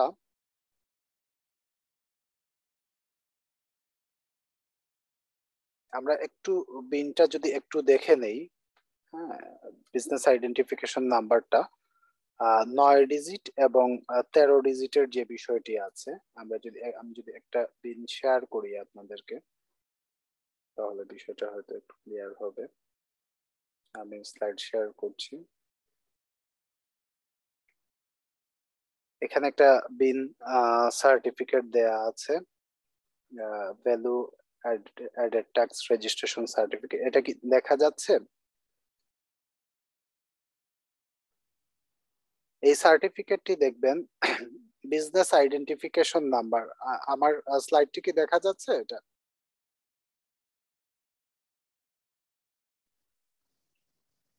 দেখা যাচ্ছে। জি থ্যাংক ইউ এখানে বিন নাম্বারটা দেয়া আছে এখানে দেয়া আছে হচ্ছে নয় ডিজিটের একটি নাম্বার দেয়া আছে। এটাই হচ্ছে প্রাথমিক যে ভ্যাট রেজিস্ট্রেশনটা ছিল, এই ভ্যাট রেজিস্ট্রেশন নাম্বার এখানে যে তারিখে রেজিস্ট্রেশন করা হয়, এর পরবর্তী মাস থেকে এটা এফেক্টিভ হয়। এখানে ছাব্বিশ ছয় দুই হাজার উনিশে এটা রেজিস্টার সাত দুই হাজার উনিশ থেকে এটা কার্যকর ডেট অফ ইফেক্ট যে বিষয়টা আমরা বলা ছিল। এটা হচ্ছে প্রথম যে বিনটা করা হয়েছে সেটা। পরবর্তীতে আমরা, এটা একটু চেঞ্জ হয়েছে আরও চারটা ডিজিট এটার সাথে অ্যাড হয়েছে। আরও চারটা ডিজিট অ্যাড হয়েছে। যে বিষয়টি আমরা বললাম যে আরও চারটা ডিজিট অ্যাড হয়েছে নতুন বিনে, এই চারটা ডিজিটে এখানে অ্যাড হয়েছে এবং আর আর সবকিছু সেমই আছে। নতুন রেজিস্ট্রেশনের ক্ষেত্রে এই চারটা ডিজিট অ্যাড হয়েছে। এখন আমরা যদি এখানে যে বিষয়টি বলা আছে কোয়েশনে আনসারে গিয়ে নয় ডিজিটের একটি সুনির্দিষ্ট সংখ্যা যা দ্বারা একজন করদাতাকে চিহ্নিত করা হয়। কিন্তু এর এর মাধ্যমে কিন্তু ব্যক্তির অর্থনৈতিক কার্যক্রমের প্রকৃতি ও কার্যক্রম বোঝা যায় না শনাক্তকরণ সংখ্যার মাধ্যমে। ব্যবহারের সুবিধার্থে এটা নয় থেকে আরও চারটা ডিজিট অ্যাড করা হয়েছে, তেরো ডিজিটে উন্নীতকরণ করা হয়েছে। এনবিআর এর ওয়েবসাইটে যদি আমরা যাই, তাহলে আমরা এই আমরা চাইলেই যে কোনো ভ্যাট রেজিস্ট্রেশন সংখ্যা দিয়ে আমরা সার্চ দিয়ে দেখতে পারব সংশ্লিষ্ট করদাতার ভ্যাটের বর্তমান অবস্থাটি কি আছে। নিয়মিত উনি ভ্যাট রিটার্ন সাবমিট করছেন কিনা এখানে। ই বিনটা হচ্ছে নয় ডিজিটের এবং তেরো ডিজিটের বিনটা হচ্ছে নতুন যেটা বিন এসেছে, ই বিনের পরবর্তী যে বিন। আর ওল্ড বিনটা হচ্ছে এর পুরাতন যে বিনটা ছিল, এগারো ডিজিটের এই জায়গায় কিন্তু সার্চ দিয়ে যে কোনো প্রতিষ্ঠানের যদি আপনার কাছে বিন নাম্বার থাকে, তাহলে আপনি ওই প্রতিষ্ঠানের ডিটেলস দেখতে পারবেন যে ওই প্রতিষ্ঠান নিয়মিত ভ্যাট প্রদান করেছে কি না এই হচ্ছে আমাদের ব্যবসায় শনাক্তকরণ সংখ্যা বিআইএন এটার পরিচিতি। এবং এটা কীভাবে ব্যবসার পরিস্থিতি জানা যায়। পরবর্তী কোয়েশন হচ্ছে, আমি কীভাবে একটি বিআইএন পেতে পারি? আপনার অর্থনৈতিক কার্যক্রমের সীমা, বার্ষিক টার্নওভারের নির্ধারিত সীমা অতিক্রম করলে ফরম মূসক দুই দশমিক একে কমিশনার বরাবর আবেদন করতে হবে। যথাযথ যাচাইয়ের পর মূসক সিস্টেম হতে তিন কার্য দিবসের মধ্যে আপনার অনুকূলে ফর্ম মূসক দুই দশমিক তিন এ বিআইএন সংবলিত একটি নিবন্ধন সনদ বা টার্নওভার কর তালিকাভুক্তির সনদপত্র ইস্যু করা হবে। তাছাড়া অনলাইনেও VAT dot gov dot BD ওয়েবসাইটে আবেদন করা যাবে, তবে সেক্ষেত্রে প্রয়োজনীয় দলিলাদি স্ক্যান কপিও আপলোড করতে হবে। এখন আমরা বিন কীভাবে পাবো? এই বিষয়টি সম্পর্কে যদি আলোচনা করি দুই ভাবে পাওয়া যায়। একটা হচ্ছে আমরা যদি লিখিত আবেদন করি তাহলে পেতে পারি, কিংবা আমরা যদি অনলাইনের মাধ্যমে ডট গভ ডট বিডি ওয়েবসাইটে আবেদন করি, তাহলে ওই ওয়েবসাইটে আবেদন করেও আমরা এটি পেতে পারি। এটা হচ্ছে ওই ওয়েবসাইটটি VAT dot gov dot BD website এই ওয়েবসাইটের মাধ্যমে প্রথমে আমাদেরকে সাইন আপ করতে হয়। সাইন আপ করার পরে এখানে ইউজার ক্রিয়েট করতে হয়। সেক্ষেত্রে এনআইডি প্রয়োজন হয় মোবাইল নাম্বার প্রয়োজন হয়। এনআইডির সাথে নাম চলে আসবে এবং মোবাইল নাম্বার এবং ইমেল অ্যাড্রেস লাগবে। একটা রিকভারি কোয়েশন সেট করতে হবে। প্রথমে সাইন আপ করতে হয়। সাইন আপ করার পরে আমরা ইউজার লগ ইন করবে। লগ ইন করার পরে এখানে আপনি ভ্যাট রেজিস্ট্রেশন এর জন্য অ্যাপ্লিকেশন করতে পারবেন। অ্যাপ্লিকেশন করার সময় ট্রেড লাইসেন্স টিআইএন প্রপাইটর কিংবা পার্টনার্সদের এনআইডি অথবা কোম্পানির ক্ষেত্রে কোম্পানির সার্টিফিকেট অফ ইনকর্পোরেশন কিংবা রেজিস্টার্ড পার্টনারশিপের ক্ষেত্রে সার্টিফিকেট অফ ইনকর্পোরেশন এবং ব্যাংকের আপডেটেড স্টেটমেন্ট কিংবা ব্যাংক সলভেন্সি সার্টিফিকেট এই ডকুমেন্টসগুলা সাবমিট করতে হবে স্ক্যান কপি গুলো আপলোড করতে হবে। করার পরে আইন কিংবা নির্দেশনা অনুযায়ী তিন কার্য দিবসের মধ্যে বিআইএনটি ইস্যু করা হয়। এটা ক্ষেত্র বিশেষে কোনো কোনো জায়গায় এটা পেতে একটু সময় লাগে, কিন্তু এতে অনলাইনে আবেদন করলে অবশ্যই অনলাইনেই বিন ইস্যু করা হয় এবং আমি যে বিনগুলা দেখালাম আপনাদেরকে, যে কপিগুলা এগুলা ডাউনলোড করে নেওয়া যায় আবেদন করার পরে। যখন পাওয়া যায়। এই বিনটি ইস্যু হওয়ার পরে এইরকম একটা সার্টিফিকেট মূসক দুই দশমিক তিন ফর্মে একটা সার্টিফিকেট প্রদান করা হয়। এটাই হচ্ছে ভ্যাট রেজিস্ট্রেশন আমরা আমাদের আলোচনায় একটা পর্যায়ে হয়তো আমরা ভ্যাট রেজিস্ট্রেশন কীভাবে করা হয় এটা আমরা প্র্যাকটিক্যালি অ্যাপ্লিকেশন ফর্মটা ফিল আপ করা শিখব। একটা পর্যায়ে গিয়ে ইনশাল্লাহ এবং সবাই নিজেরা ভ্যাট রেজিস্ট্রেশন করা এবং রেজিস্ট্রেশন প্রক্রিয়ার প্রত্যেকটা স্টেপ আমরা শেখার চেষ্টা করব এবং আশা করা যায় যে আপনারা সবাই নিজেরাই ভ্যাট রেজিস্ট্রেশন করতে সক্ষম হবেন অ্যাপ্লাই করতে ভ্যাট রেজিস্ট্রেশনের জন্য। একটি বিআইএন থাকার সুফল কি কি? বিআইএন থাকার সুফল কি কি আছে? এখানে কিছু সুফলের কথা বলা আছে। প্রথমত ব্যাগেজ আমদানি ব্যতীত অন্য সকল আমদানি রপ্তানি কার্যক্রম। আমদানি, রপ্তানি কার্যক্রম করতে হলে আপনি যদি ব্যাগেজ আমদানি ব্যতীত মানে আপনি যদি ট্রাভেলার হিসাবে যদি ব্যাগেজে কোনো কিছু নিয়ে আসেন, এটি ছাড়া অন্যান্য সকল আমদানি, রপ্তানি কার্যক্রমের জন্য আপনাকে বিন লাগবেই নিবন্ধিত বা তালিকাভুক্ত ব্যক্তির নামে ভূমি বা ভবন নিবন্ধন করা। ভূমি বা ভবন নিবন্ধনের ক্ষেত্রে একজন ব্যবসায়ীর বৈধতা ক্রিয়েট করে এখানে আমদানি নিবন্ধন, সনদ রপ্তানি নিবন্ধন, সনদ গ্রহণ ইম্পোর্ট রেজিস্ট্রেশন এবং এক্সপোর্ট রেজিস্ট্রেশনের ক্ষেত্রে বিন বাধ্যতামূলক উৎসে কর কর্তন উৎসে কর্তনকারী সত্তায় কোনো সরবরাহ প্রদান। এখন যদি দেখা যায় যে আমরা উৎসে কর এবং ব্যাট যারা কর্তন করছেন তাদের কাছে কোনো কিছু যদি আমরা সরবরাহ করতে চাই, তারা অবশ্যই বিন চাইবে। কোনো টেন্ডারে অংশগ্রহণ করতে গেলে বিন প্রয়োজন হয়, কোনো সংস্থায় তালিকাভুক্ত হতে হলে বিন প্রয়োজন হয়। বন্ড লাইসেন্স প্রাপ্তির ক্ষেত্রে বিন প্রয়োজন হয়। নিবন্ধিত বা তালিকাভুক্ত ব্যক্তির অনুকূলে ব্যাংক ঋণ অনুমোদনের ক্ষেত্রে বিন থাকতে হয় কিংবা বিন থাকলে সুবিধা হয়।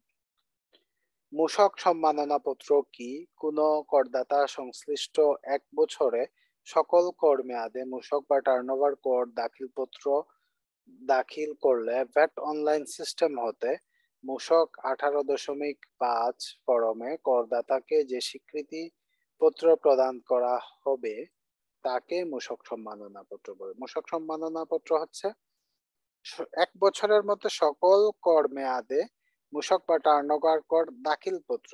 দাখিল করলে সিস্টেম হতেই মূসক আঠারো দশমিক পাঁচ ফরমে করদাতাকে একটি স্বীকৃতি পত্র প্রদান করা হবে। এই স্বীকৃতি পত্রকে মূসক সম্মাননা পত্র বলা হয়।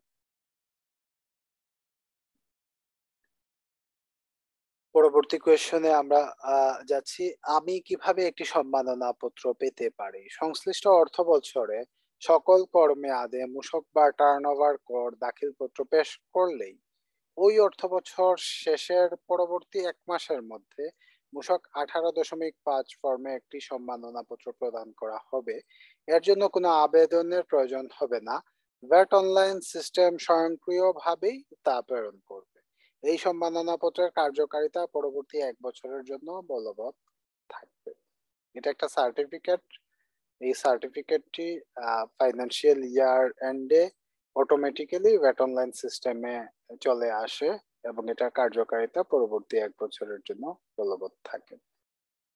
একটি সম্মাননা পত্র থাকার সুবিধা কি কি? আমি আশা করছি আগামী ক্লাসে আপনাদেরকে মূসক সম্মাননা পত্রটি দেখাবো এবং এটা কীভাবে আসে এই বিষয়টি আমি ভ্যাট অনলাইনে লগ ইন করে দেখাবো। সম্মাননাপত্র থাকার সুবিধা কি কি? এখানে আমরা কিছু সুবিধার কথা বলা আছে। আমদানি নিবন্ধন সনদ ও রপ্তানি নিবন্ধন সনদ নবায়নের ক্ষেত্রে উৎসে কর উৎসে কর্তনকারী সত্তার নিকট সরবরাহ প্রদান টেন্ডারে অংশগ্রহণ, কোন সংস্থা তালিকাভুক্তি গ্রহণ বন্ড লাইসেন্স নবায়ন ব্যাংক ঋণ অনুমোদন বা নবায়ন, স্থাবর সম্পত্তি নিবন্ধন ইত্যাদি। এছাড়াও, করদাতা প্রণোদনা কার্যক্রমের আওতায় বিভিন্ন সামাজিক সুবিধা পাওয়া যাবে। যদি প্রণোদনা কার্যক্রম থাকে, তাহলে এই কার্যক্রমের আওতায় বিভিন্ন সামাজিক সুবিধা পাওয়া যাবে। এখন আমরা এর আগে যে বিষয়টি দেখেছি যে টার্ন ওভার পঞ্চাশ লাখের উপরে হলে কিংবা তিন কোটি টাকার উপরে হলে ভ্যাট নিবন্ধন কিংবা টার্ন ওভার ট্যাক্স নিবন্ধন এখানে আমরা টার্নওভার কীভাবে হিসাব করব? আমার ব্যবসায় বাৎসরিক টার্নওভার কীভাবে হিসাব করব? বারো মাস সময়ে আপনার ব্যবসা প্রতিষ্ঠানে প্রস্তুতকৃত, আমদানিকৃত বা ক্রয়কৃত। পণ্যের সরবরাহ বা করযোগ্য সেবা প্রদানের, প্রদান হতে প্রাপ্ত সমুদয় অর্থ যোগ করে আপনার নিবন্ধন গ্রহণের ক্ষেত্রে ব্যবসায় বাৎসরিক টার্নওভার হিসাব করবেন। নিবন্ধন গ্রহণের ক্ষেত্রে বাৎসরিক টার্নওভার হিসাব পদ্ধতি। এখানে দুই ধরনের পদ্ধতি বলা আছে। একটা হচ্ছে চলমান ব্যবসার ক্ষেত্রে, একটা হচ্ছে নতুন ব্যবসার ক্ষেত্রে। চলমান ব্যবসার ক্ষেত্রে পূর্ববর্তী মাসের কর মেয়াদের শেষ দিন হতে বিগত বারো মাসের মোট টার্নওভার হিসাব করে। ধরা যাক জানুয়ারি দুই হাজার বিশ মাস চলমান থাকাকালে পূর্ববর্তী মাসের শেষ দিন, একত্রিশ ডিসেম্বর দুই হাজার উনিশ হতে বিগত মাসে, বারো মাসের হিসাবে এক জানুয়ারি দুই হাজার উনিশ হচ্ছে একত্রিশ ডিসেম্বর দুই হাজার উনিশ সময়কালে বার্ষিক টার্নওভার হিসাব করতে হবে। যে মাসে আমরা ভ্যাট রেজিস্ট্রেশন করব, তার আগের মাস হতে পিছন দিকে এক বছর, বারো মাস। এটার টোটাল টার্নওভার যোগ করে আমরা দেখব যে টার্নওভার কত হয়েছে। নতুন ব্যবসার ক্ষেত্রে প্রকৃত টার্নওভারের ভিত্তিতে পূর্ববর্তী মাসের কর মেয়াদের প্রথম দিন হইতে বারো মাসের মোট টার্নওভার প্রাক্কলন করে। অর্থাৎ এটা প্রাক্কলিত হবে নতুন ব্যবসার ক্ষেত্রে। অর্থাৎ সম্পূর্ণ নতুন ব্যবসাকে নিবন্ধিত করতে পূর্ববর্তী মাসের প্রথম দিন হতে পরবর্তী বারো মাসের মোট টার্নওভার প্রাক্কলন করতে হবে। ধরা যাক জানুয়ারি দুই হাজার বিশ মাস আপনি নতুন ব্যবসা চালু করতে যাচ্ছেন। এ অবস্থায় পূর্ববর্তী মাসের প্রথম দিন এক ডিসেম্বর দুই হাজার উনিশ হতে পরবর্তী মাসের পরবর্তী বারো মাসের হিসাব, অর্থাৎ তিরিশ নভেম্বর দুই হাজার বিশ সময়কালে বাৎসরিক টার্নওভার হিসাব করতে হবে। এক্ষেত্রে নতুন ব্যবসা যদি হয় তাহলে পূর্ববর্তী মাস হতে পরবর্তী এক বছর। আর পুরাতন ব্যবসা হইলে পূর্ববর্তী মাস হতে পূর্ববর্তী এক বছর সময়কাল হিসাব করে টার্নওভারটি হিসাব করতে হবে। এই হচ্ছে নতুন ব্যবসার ক্ষেত্রে টার্ন ওভার এবং পুরাতন ব্যবসার ক্ষেত্রে টার্ন ওভার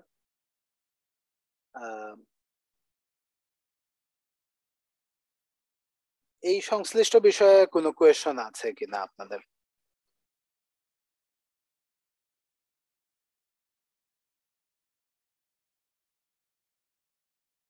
আমরা মূসক সম্মাননা পত্র পড়েছি, কীভাবে সম্মাননা পত্র পাওয়া যায় পড়েছি সম্মাননা পত্র থাকার সুবিধাগুলা পড়েছি টার্নওভার কীভাবে ক্যালকুলেট করব এটা পড়েছি, নতুন ব্যবসার ক্ষেত্রে কীভাবে করব, পুরাতন ব্যবসার ক্ষেত্রে চলমান ব্যবসার ক্ষেত্রে আমরা কীভাবে করব, দুইটা পদ্ধতি আমরা করেছি।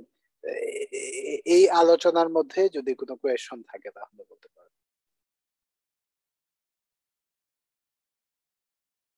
টার্নওভার হিসাবে পদ্ধতিটা যদি আরেকবার একটু বলতেন। জি চলমান ব্যবসার ক্ষেত্রে আমরা যখন হিসাব করব যে মাসে হিসাব করব ওই মাসের আগের মাস হতে পিছন দিকে এক বছর। আর আচ্ছা। নতুন ব্যবসার ক্ষেত্রে আমরা যে মাসে হিসাব করব ওই মাসের আগের মাস হতে পরবর্তী এক বছর। মনে করেন আমরা জানুয়ারি দুই হাজার বিশে নতুন ব্যবসা চালু করতে যাচ্ছি। তাহলে আমরা ডিসেম্বর দুই হাজার উনিশ হতে নভেম্বর দুই হাজার বিশ পর্যন্ত হিসাব করব। এক মাস আগে থেকে পরের এক বছর। এক মাস আগে টার্নওভার হবে না এখানে, ডিসেম্বর উনিশে। যেহেতু আমরা ব্যবসায় শুরু করছি জানুয়ারিতে, তো এটা হচ্ছে প্রাককলন করব আমরা। পরবর্তী এগারো মাস থাকবে এই জায়গায়। আচ্ছা। এখন এখানে টার্নওভার হতেও পারে যদি আমরা ব্যবসা তো জানুয়ারি দুই হাজার বিশ থেকে চালু করছি। সেই ক্ষেত্রে আমরা এক মাস আগে থেকে করার মূল কারণ হচ্ছে আমরা ভ্যাট রিটার্ন প্রতি মাসের শেষে প্রতি মাসের এক তারিখ থেকে পনেরো তারিখের মধ্যে আমরা পূর্ববর্তী মাসের ভ্যাট রিটার্ন সাবমিট করি। যেমন জানুয়ারি মাসের এক থেকে পনেরো তারিখের মধ্যে আমরা গত ডিসেম্বর মাসের রিটার্নটি সাবমিট করব। তাই কি নতুন ব্যবসার ক্ষেত্রে কি মানে প্রজেক্টেড টার্নওভার হচ্ছে? শুরু নতুন ব্যবসার ক্ষেত্রে পূর্ববর্তী করতে হবে। প্রাক্কলন করতে হবে। হ্যাঁ। চলমান ব্যবসার ক্ষেত্রে বিগত মাস এক বছর। মানে পিছন দিকে এক পিছন দিকে এক বছরের উপরে টার্নওভার ক্যালকুলেট করতে রাইট এটাই হচ্ছে টার্নওভার আকবর ভাই এটা কি জানুয়ারি টু ডিসেম্বর কোনো পিরিয়ড বলতে তো কিছু নাই না? না কোনো এখন যদি আমরা মার্চ হয় জানুয়ারির জায়গায় এখন যদি মনে করেন আমরা ফেব্রুয়ারি মাসে আছি। আমরা যদি এখন নতুন কোনো ব্যবসার ক্ষেত্রে যদি করতে চাই তাহলে আমরা জানুয়ারি থেকে ডিসেম্বর পর্যন্ত হিসাবে আনব। মানে পূর্ববর্তী মানে এক মাস থেকে এক মাসে যেই মাসে আমি রেজিস্ট্রেশন করি নাই সেই মাসেরটাও আসবে। আসবে। আসবে। কিন্তু এইটা কেন রাখছে আমার মনে হয়? কারণ একটু আগে আমরা দেখলাম না যে কোন মাসের ধরেন আঠারো তারিখে রেজিস্ট্রেশন করলে পরের মাসের এক তারিখ থেকে ধরবে। তাহলে এই বারো দিন তো বাদ পড়ে গেছিল। এই জন্য এটাকে আবার ব্যাকে এক মাস করে দিচ্ছে মনে হয়। রাইট একেবারেই ঠিক ধরেছেন আপনি। কারণ আমরা তো পরের মাসে ভ্যাটের রিটার্নটা সাবমিট করে থাকি। হ্যাঁ ওই জন্য করি পরের মাস থেকে কার্যকর হয়। হ্যাঁ ওই জন্য আগেরটা রাইট আমরা কোয়েশ্চেন নাম্বার একুশ শেষ করলাম ভ্যাট এফএকিউ থেকে। আমরা এখানে আরেকটি বিষয় বলা আছে। প্রাককলিত টার্নওভারের ভিত্তিতে নিবন্ধনযোগ্য ব্যক্তি যে মাসে তার নিবন্ধনের সম্ভাব্যতা যাচাই করবেন তিনি তার পরবর্তী মাসের প্রথম দিন হতে পরবর্তী বারো মাসের মোট টার্নওভার প্রাক্কলন করে। যদি তা নিবন্ধন সীমা অতিক্রম করবে বলে মনে হয়, তাহলে মূসকের জন্য নিবন্ধন গ্রহণ করবে। মানে যদি সীমাটা অতিক্রম হয় তাহলেই মূসক নিবন্ধন করবেন। মূসক কর্মকর্তা কি নিজ হতে আমাকে নিবন্ধিত বা তালিকাভুক্ত করতে পারেন? সংশ্লিষ্ট মূসক কর্মকর্তা যদি যথাযথ অনুসন্ধানের পর মনে করেন যে আপনি নিবন্ধন যোগ্য তাহলে তিনি উদ্যোগে আপনাকে নিবন্ধিত বা তালিকাভুক্ত করতে পারেন।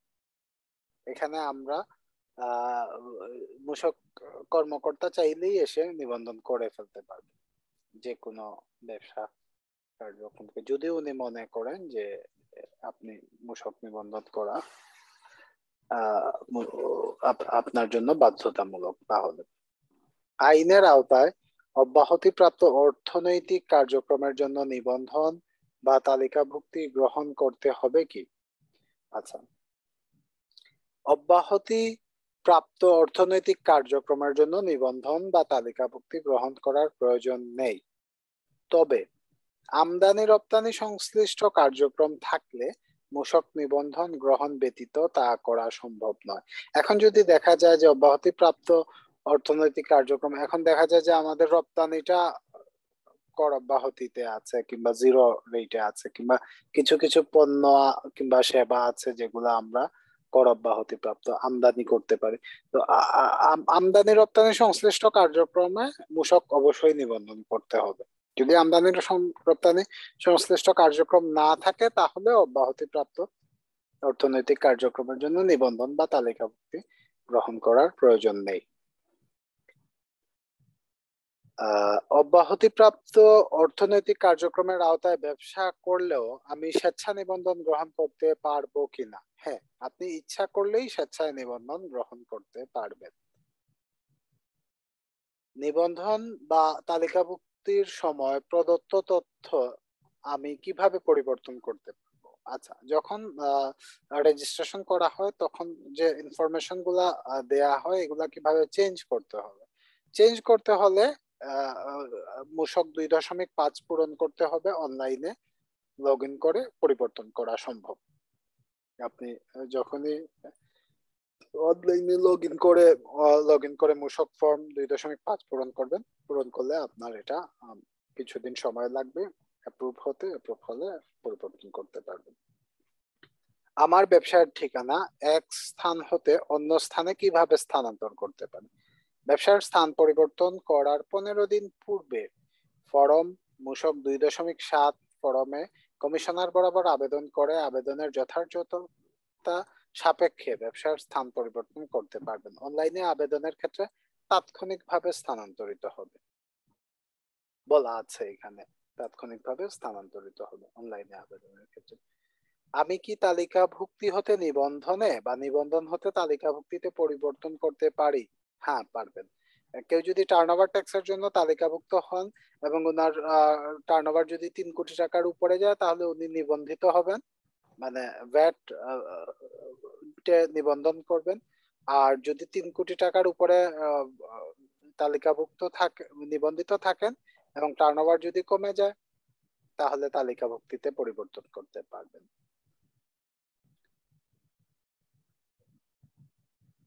এই হচ্ছে আমাদের নিবন্ধনের পরিবর্তনের বিষয়টি। নিবন্ধন বা তালিকাভুক্তির আবেদন কোথায় দাখিল করতে হয়? আমরা অনলাইন অনলাইনে মূলত আবেদন দাখিল করতে হয়। আমরা এটা, যেটা দেখেছি VAT dot gov dot BD online ওয়েবসাইটের মাধ্যমে। বোর্ড পরিচালিত কেন্দ্রীয় তথ্য প্রক্রিয়াকরণ কেন্দ্রে বোর্ড যে সেন্ট্রাল ইনফরমেশন সেল আছে বোর্ডের ওই জায়গায় করা যায়। আবেদনের জন্য সুবিধাজনক হয় এমন কাস্টমস এক্সাইজ ও ভ্যাট কমিশনার বা বিভাগীয় দপ্তরে। বোর্ড বা সংশ্লিষ্ট কমিশনার কর্তৃক নির্ধারিত কোন সেবা কেন্দ্রে। বোর্ড বা সংশ্লিষ্ট কমিশনার কর্তৃক পরিচালিত কোনো মেলায় এবং বোর্ড কর্তৃক আদেশ দ্বারা নির্ধারিত অন্য কোনো স্থানে।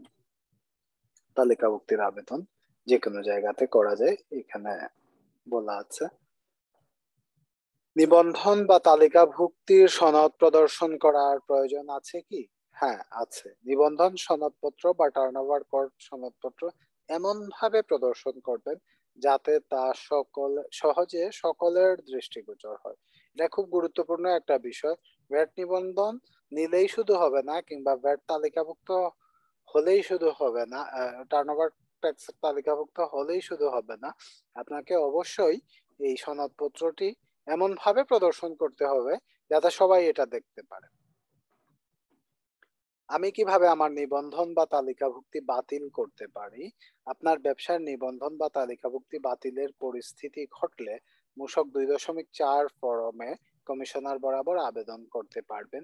নিবন্ধন বাতিলের কারণ যুক্তিসঙ্গত মনে করলে কমিশনার নিবন্ধন বা তালিকাভুক্তি সাময়িকভাবে স্থগিত করে পনেরো দিনের মধ্যে চূড়ান্ত দাখিলপত্র প্রদানের নির্দেশনা প্রদান করবেন। চূড়ান্ত দাখিলপত্র প্রেরণের পনেরো দিনের মধ্যে তথ্যাদি যথাযথভাবে প্রাপ্তি সাপেক্ষে কমিশনার নিবন্ধন বা তালিকাভুক্তি বাতিল করবেন। অ্যাপ্লিকেশন করার পরে পনেরো দিনের মধ্যে ফাইনাল যে রিটার্ন আছে সেটা সাবমিটের জন্য অর্ডার দেবেন। কমিশনার এবং ফাইনাল রিটার্ন সাবমিট করার পনেরো দিনের মধ্যে যথাযথ প্রাপ্তি সাপেক্ষে, তথ্যাদি যথাযথ প্রাপ্তি সাপেক্ষে কমিশনার নিবন্ধন বা তালিকাভুক্তি বাতিল করবেন। নিবন্ধন বা তালিকাভুক্তি সনদ হারিয়ে গেলে এটা আবার ডাউনলোড করা যায় কিংবা ইমেইলের মাধ্যমে পাওয়া যায় প্রিন্ট করে নেওয়া যায়। কিংবা এনবিআর এর ওয়েবসাইটেও নিবন্ধন নাম্বার দিয়ে সার্চ দিয়ে এটা বের করা যায়। অনলাইন আবেদনের পদ্ধতি কি? এখানে অনলাইন আবেদনের পদ্ধতিটি বলা আছে। এই পদ্ধতি সম্পর্কে আমরা কিছুটা দেখেছি আমরা আগে আলোচনায় ওয়েবসাইটে এখানে ফ্যাট অনলাইন পোর্টালে যেতে হবে। আমরা দেখেছি ভ্যাট অনলাইন পোর্টালে গিয়ে প্রথমে ইউজার আইডি পাসওয়ার্ড সাইন তৈরির জন্য সাইন আপ করতে হবে। সাইন আপ করার পরে আমরা নিবন্ধন বা তালিকাভুক্তির জন্য অ্যাপ্লাই করতে পারব। তো এই হচ্ছে আমাদের নিবন্ধন বা তালিকাভুক্তি পদ্ধতির বিষয়ে আমরা পরবর্তীতে আলোচনা করব। আমরা আজকে নিবন্ধন বা তালিকাভুক্তি সনদ হারিয়ে গেলে বা নষ্ট হয়ে গেলে কি করব? এই কোয়েশন থার্টি ওয়ান পর্যন্ত আমরা আজকের লেকচারে আলোচনা করলাম। তো আমি যদি শুরু থেকে আবার আলোচনা একবার বলি আপনাদেরকে, সেটা হচ্ছে আমরা শুরু করেছিলাম আট নাম্বার থেকে। মূসক নিবন্ধন বা টার্নওভার কর তালিকাভুক্তির সীমা কত? এখানে পঞ্চাশ লক্ষ হলে টার্নওভার ট্যাক্স এর জন্য রেজিস্ট্রেশন করতে হবে। তিন কোটির উপরে হলে মূসকের জন্য রেজিস্ট্রেশন করতে হবে। তিন, কিংবা জিও সেভেন্টিনে যেটা দেয়া আছে, সাধারণ আদেশ সতেরোতে এটা এই আদেশভুক্ত যদি হয়ে থাকে, তাহলে অবশ্যই ব্যাট রেজিস্ট্রেশন করতে হবে। এখানে বলা আছে। তাহলে আমরা একটা লিস্ট পেলাম এবং দুইটা স্ল্যাব পেলাম। পঞ্চাশ লক্ষ এবং তিন কোটি। এরপরে আমরা ভোক্তার দায়িত্ব কি দেখেছি? যদি ব্যাট চালান না দেয় বিক্রেতা তাহলে কি করব? আমরা পড়েছি নিবন্ধন বা তালিকাভুক্তি কি? এই বিষয়ে আলোচনা করেছি। ব্যবসায়িক পরিচিতি নাম্বার আমরা কি দেখেছি? কখন নিবন্ধন নিতে হবে? তা সম্পর্কে আমরা আলোচনা করেছি। বিন থাকার সুফল কি? কীভাবে আমরা বিন পেতে পারি? এটা পেয়েছি। মূসক সম্মাননা পত্র কি মূসক সম্মাননা পত্র কি কাজে লাগে? এই এই সুবিধাটুকু আমরা দেখেছি। টার্নওভার কীভাবে হিসাব করব আমরা? দুইটা পদ্ধতি দেখেছি, জলবান ব্যবসার ক্ষেত্রে এবং নতুন ব্যবসার ক্ষেত্রে। এরপরে আমরা কিছু সাধারণ কোয়েশন সম্পর্কে আলোচনা করেছি। মূসক কর্মকর্তা কি তালিকাভুক্ত করতে পারবেন কি না কর অব্যাহতি প্রাপ্ত হলে স্বেচ্ছা নিবন্ধন করা যাবে কি না অব্যাহতি প্রাপ্তর ক্ষেত্রে কি করতে হবে? তালিকাভুক্তি। এই বিষয়টি এসেছে। ব্যবসার ঠিকানা পরিবর্তন কীভাবে আমরা করতে পারব তালিকাভুক্তি আমরা হতে নিবন্ধন কিংবা নিবন্ধন হতে তালিকাভুক্তিতে কীভাবে আমরা পরিবর্তন করতে পারব। যদি আমাদের নিবন্ধন তালিকাভুক্তির আবেদন কোথায় দাখিল করতে হয়, নিবন্ধন বা তালিকাভুক্তির সনদ যেটা আমরা দেখলাম, এটা প্রদর্শনের প্রয়োজনীয়তা আছে কিনা, কীভাবে আমরা বাতিল করব নিবন্ধন বা তালিকাভুক্তি এই বিষয়ে আলোচনা করলাম। এটা হারিয়ে গেলে, সনদটি হারিয়ে গেলে আমরা কি করব তার সম্পর্কে আলোচনা করলাম। আমরা মূলত গত লেকচারে আমরা যে বিষয়ে আলোচনা করেছিলাম তা হচ্ছে ভ্যাটের রেটটা কি ছিল। আর আজকের লেকচারে আমরা আলোচনা করলাম ভ্যাট রেজিস্ট্রেশন কিংবা টার্নওভার ট্যাক্স এনলিস্টমেন্ট কারা করবেন কাদের জন্য এটা প্রযোজ্যতা আছে। তো এই এই হচ্ছে আমাদের আলোচনা। এখন আমরা একটু আলোচনার প্রেক্ষিতে যদি কোনো কোয়েশন থাকে, তাহলে আমরা এই কোয়েশন আনসারগুলা নেব। আর তারপরে আমরা সবাই একটু, সেই সাথে আমরা সবাই একজন একজন করে আজকের আলোচনাটি একটু সামারিটা আমরা আলোচনা করব।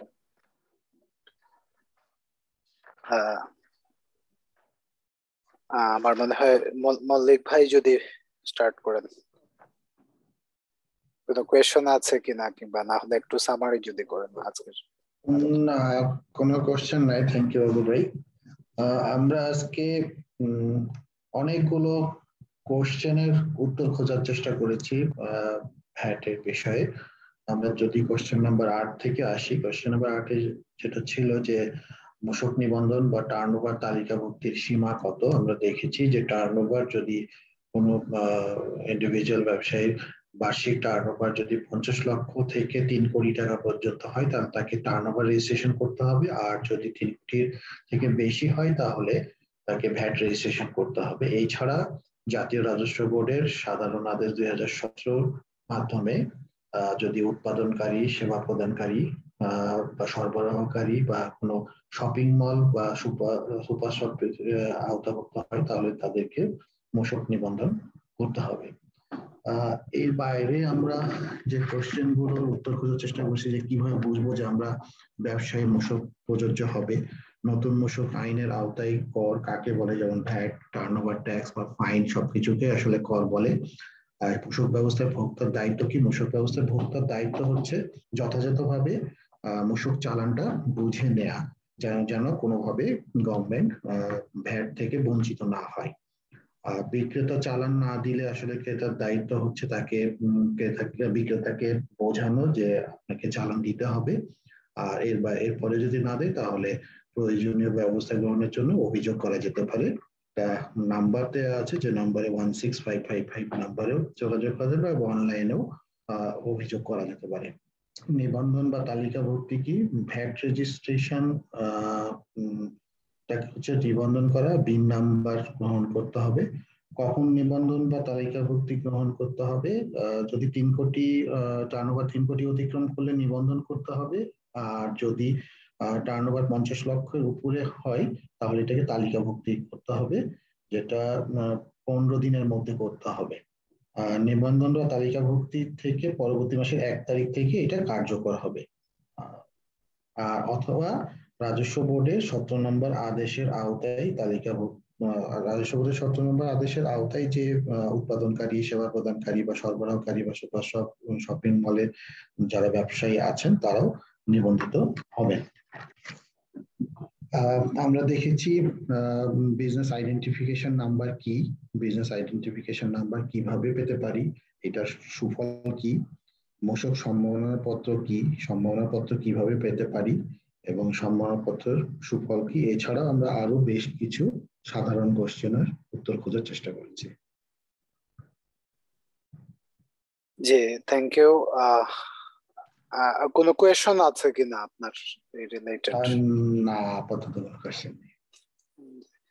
ঠিক আছে তাহলে আমরা একটু শামসুল আরেফিন খান ভাই যদি একটু বলেন। ভাই ওভারঅল বিষয়গুলি বলেছেন। এখানে আমরা মূসক নিবন্ধন ও টার্নওভার করার তালিকা মুক্তির সীমা কত? সেটা আমরা এখান থেকে বুঝতে পারলাম। যেটা হলো যে পঞ্চাশ লক্ষ টাকার উপরে থেকে তিন কোটি টাকা পর্যন্ত কারও যদি সীমা থাকে, তাহলে সে হলো টার্নওভার করের মাধ্যমে নিবন্ধিত হবে। আর যারা হলো তিন কোটি টাকার উপরে, তিনি হলো মূসকের মাধ্যমে নিবন্ধন বাধ্যতামূলক। তারপরে কীভাবে আমরা বুঝব যে ব্যবসা আমরা ব্যবসায় মূসক প্রযোজ্য হবে কি? হবে না। তো সেটা হলো মূসকের টার্নওভারের ভিত্তিতে এবং হলো বাৎসরিক যে আমার হলো স্ল্যাব আছে সেটার ভিত্তিতে মূসক আমাদের জন্য প্রযোজ্য হবে কিনা সেটা আমরা বুঝতে পারব। তারপরে হলো যেটা মূসক আইনের আওতায় কর কাকে বলে? নতুন মূসকের আইনের আওতায় কর কাকে বলে? সেটা হলো ছয়টা পয়েন্ট আছে যেটা হলো মূসক তার উপরে কর সম্পূরক শুল্ক, সুদ, জরিমানা অর্থদণ্ড এগুলিকে আমরা মূসক আইনের আওতায় কর বলব। মূসক ব্যবস্থায় ভোক্তার দায়িত্ব কি? ভোক্তার দায়িত্ব হলো যে তাকে হলো ভোক্তা হলো যখন ক্রেতার কাছ থেকে, বিক্রেতার কাছ থেকে সে মূসকটা গ্রহণ করবে এবং চাবে এবং আবার হলো, বিক্রেতার দায়িত্ব হলো সে মূসকটা অর্থ সে মানে দাখিল করবে।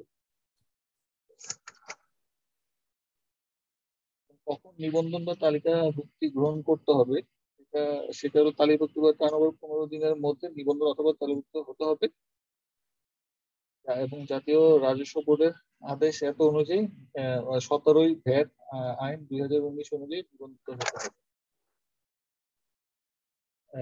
তারপর হলো যে ব্যবসায় শনাক্তকরণ সংখ্যা বিআইএন বিআইএন মাধ্যমে আসলে কি বোঝা যায়? বিআইএন এর মাধ্যমে তার অর্থনৈতিক কার্যক্রম বোঝা যাবে না, কিন্তু তুমি যে করদাতা সেটা হলো শনাক্ত করা যাবে।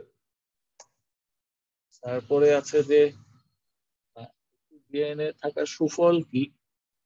তো বিআইএন থাকলে কতগুলি সুবিধা পাওয়া যায়? যেমন ব্যাগেজ, আমদানি ব্যতীত অন্য কোনো সকল আমদানি রপ্তানি কার্যক্রম, নিবন্ধন বা তালিকা ব্যক্তির নামে ভূমি বা ভবন নিবন্ধন করা আমদানি, নিবন্ধন, সনদ ও রপ্তানি সনদ গ্রহণ উর্ফে কর্তনকারী সত্তায় কোনো সরবরাহ প্রদান, তারপর হলো বন লাইসেন্স প্রাপ্তি, নিবন্ধন বা তালিকাভুক্তি ব্যক্তির অনুকূলে ব্যাংক ঋণ অনুমোদন, এই সব সুবিধাগুলি পাওয়া যাবে।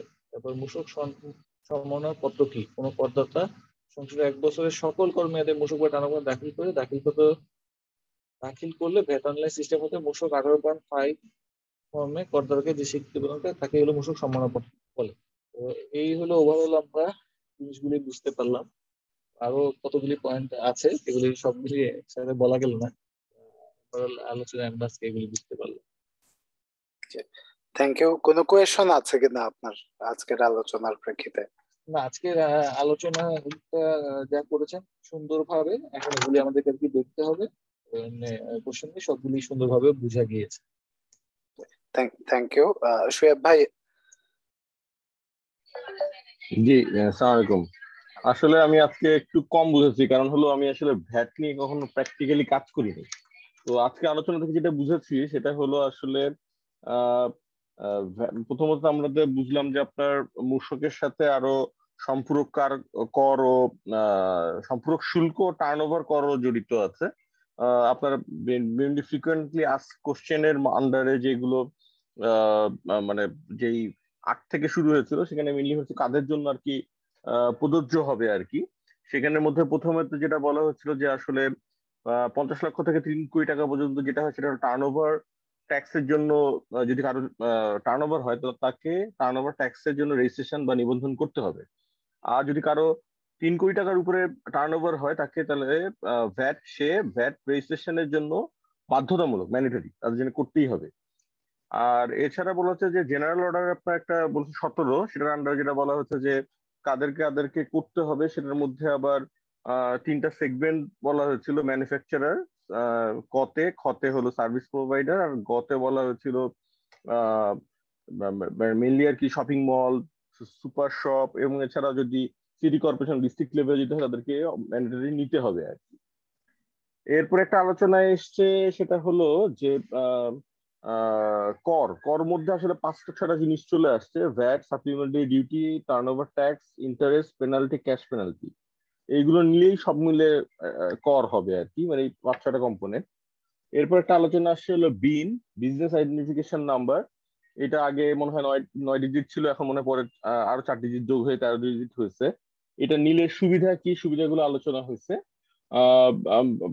কাকে কার কার জন্য লাগবে? এবং বিন নেওয়ার পর মূসক সম্মাননা পত্র কীভাবে নেওয়া যায় সেটা নিয়ে আলোচনা হয়েছে এবং এছাড়াও একে মানে বিনের আগে একটা আরেকটা জিনিস কথা বলা হয়েছে যে আপনার তালিকাভুক্তি হয় টার্ন ওভার ট্যাক্সের জন্য হলো তালিকাভুক্তি আর ভ্যাটের জন্য মনে হয় নিবন্ধন। এই এই এটা বলা হয়েছে যে আপনার তালিকাভুক্তির জন্য যদি কারও যদি পাঁচ লাখ থেকে পঞ্চাশ লাখ থেকে তিন কোটি টাকার মধ্যে হয় তাহলে টার্ন তাহলে তাকে তালিকাভুক্তি হয় টার্ন ওভার ট্যাক্সের জন্য। আর তিন কোটি টাকার তিরিশ কোটি টাকার উপরে যদি কারও টার্ন ওভার হয় তাহলে ভ্যাট নিবন্ধন করতে হবে।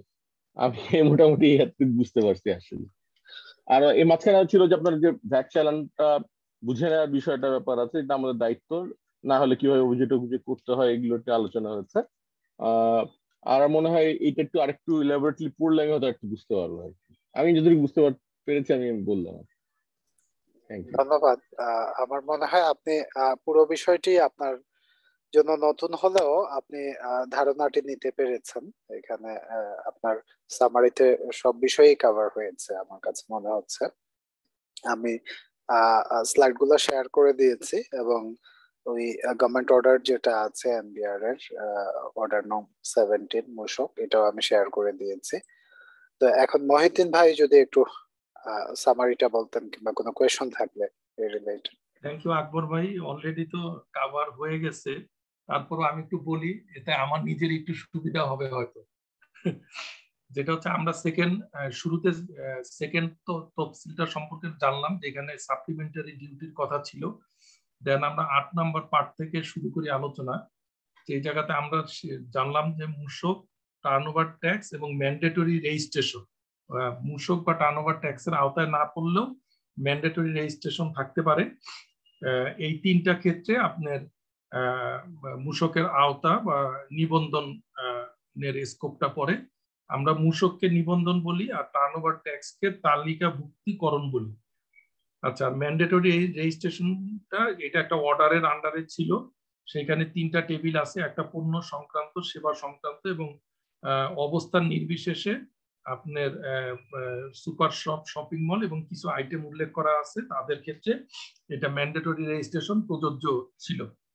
আর মূসক কখন প্রযোজ্য হবে সেটা মূলত প্রথম তফসিলের আইটেমগুলি বাদে টার্নওভারের ক্ষেত্রে আর আর হচ্ছে আপনার টার্নওভারের রূপে বেসিস করে। আবার যদি টার্নওভার পারমিট না করে তাহলেও মূসকের আওতায় আসতে পারে চাইলে। সেই ক্ষেত্রে মূসকের আওতায় আসলে আবার রিটার্নটা ম্যান্ডেটরি হয়ে যায়। পরের স্কোপ হচ্ছে VAT supplementary duty turnover tax এবং সুদ যদি কোনো ফাইন থাকে ইত্যাদি।